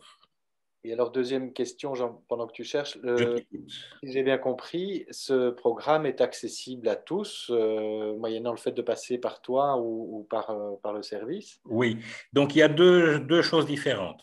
Euh, comme j'ai dit, il y a une application qui permet de collecter les données. Euh, qui est une application d'accès libre, mais, euh, mais en fait, c'est une espèce de programme un peu générique qui permet donc de générer euh, des, des, cartes, des sociogrammes, mais pas spécifiquement orientées dans la, logique de, de, ce que nous avons fait dans, dans notre, dans notre développement spécifique. Donc, pour accéder, on va dire, au protocole de notre, notre intervention, il faut s'inscrire chez nous. Et alors surtout, euh, l'accès à la base de données, au module analytique, à la page web qui permet d'obtenir un feedback, etc., etc., tout ça n'est accessible que sur inscription. Donc, c'est gratuit, mais on doit prendre des précautions pour que cette information ne, ne puisse pas être accessible à n'importe qui, de n'importe quelle manière. Et puis, ça reste un projet expérimental. Donc, pour ça, il faut euh, s'inscrire chez nous. Et ceux qui sont intéressés de l'utiliser, on va euh, rentrer en contact avec eux, leur donner euh, accès au matériel informatique, euh, à du matériel de formation, organiser une petite formation si c'est nécessaire et faire du soutien logistique pour que ça puisse fonctionner. Quel type de, de professionnels pour l'instant sont, sont, inscrits euh? Alors, je crois que c'est accessible à n'importe quelle profession. Ça a été, enfin n'importe quelle profession, on va dire qui travaille dans le social, quoi, hein, dans, dans, le médico-social. Mais euh, ça a été conçu pour être facile à utiliser. Euh, d'ailleurs, la formation qu'on fait n'est pas tellement, il y a une petite partie pratique, mais c'est plus pour avoir une certaine expérience dans la lecture des sociogrammes que pour un apprentissage à l'utilisation des outils qui, qui, est assez intuitive. Alors actuellement, ça a beaucoup été utilisé par des infirmiers, des psychologues, des travailleurs sociaux, euh, mais je pense que c'est accessible à, tous les autres profils qu'on retrouve dans, dans, les services euh, euh, d'aide et, d'assistance aux personnes. Ok, merci.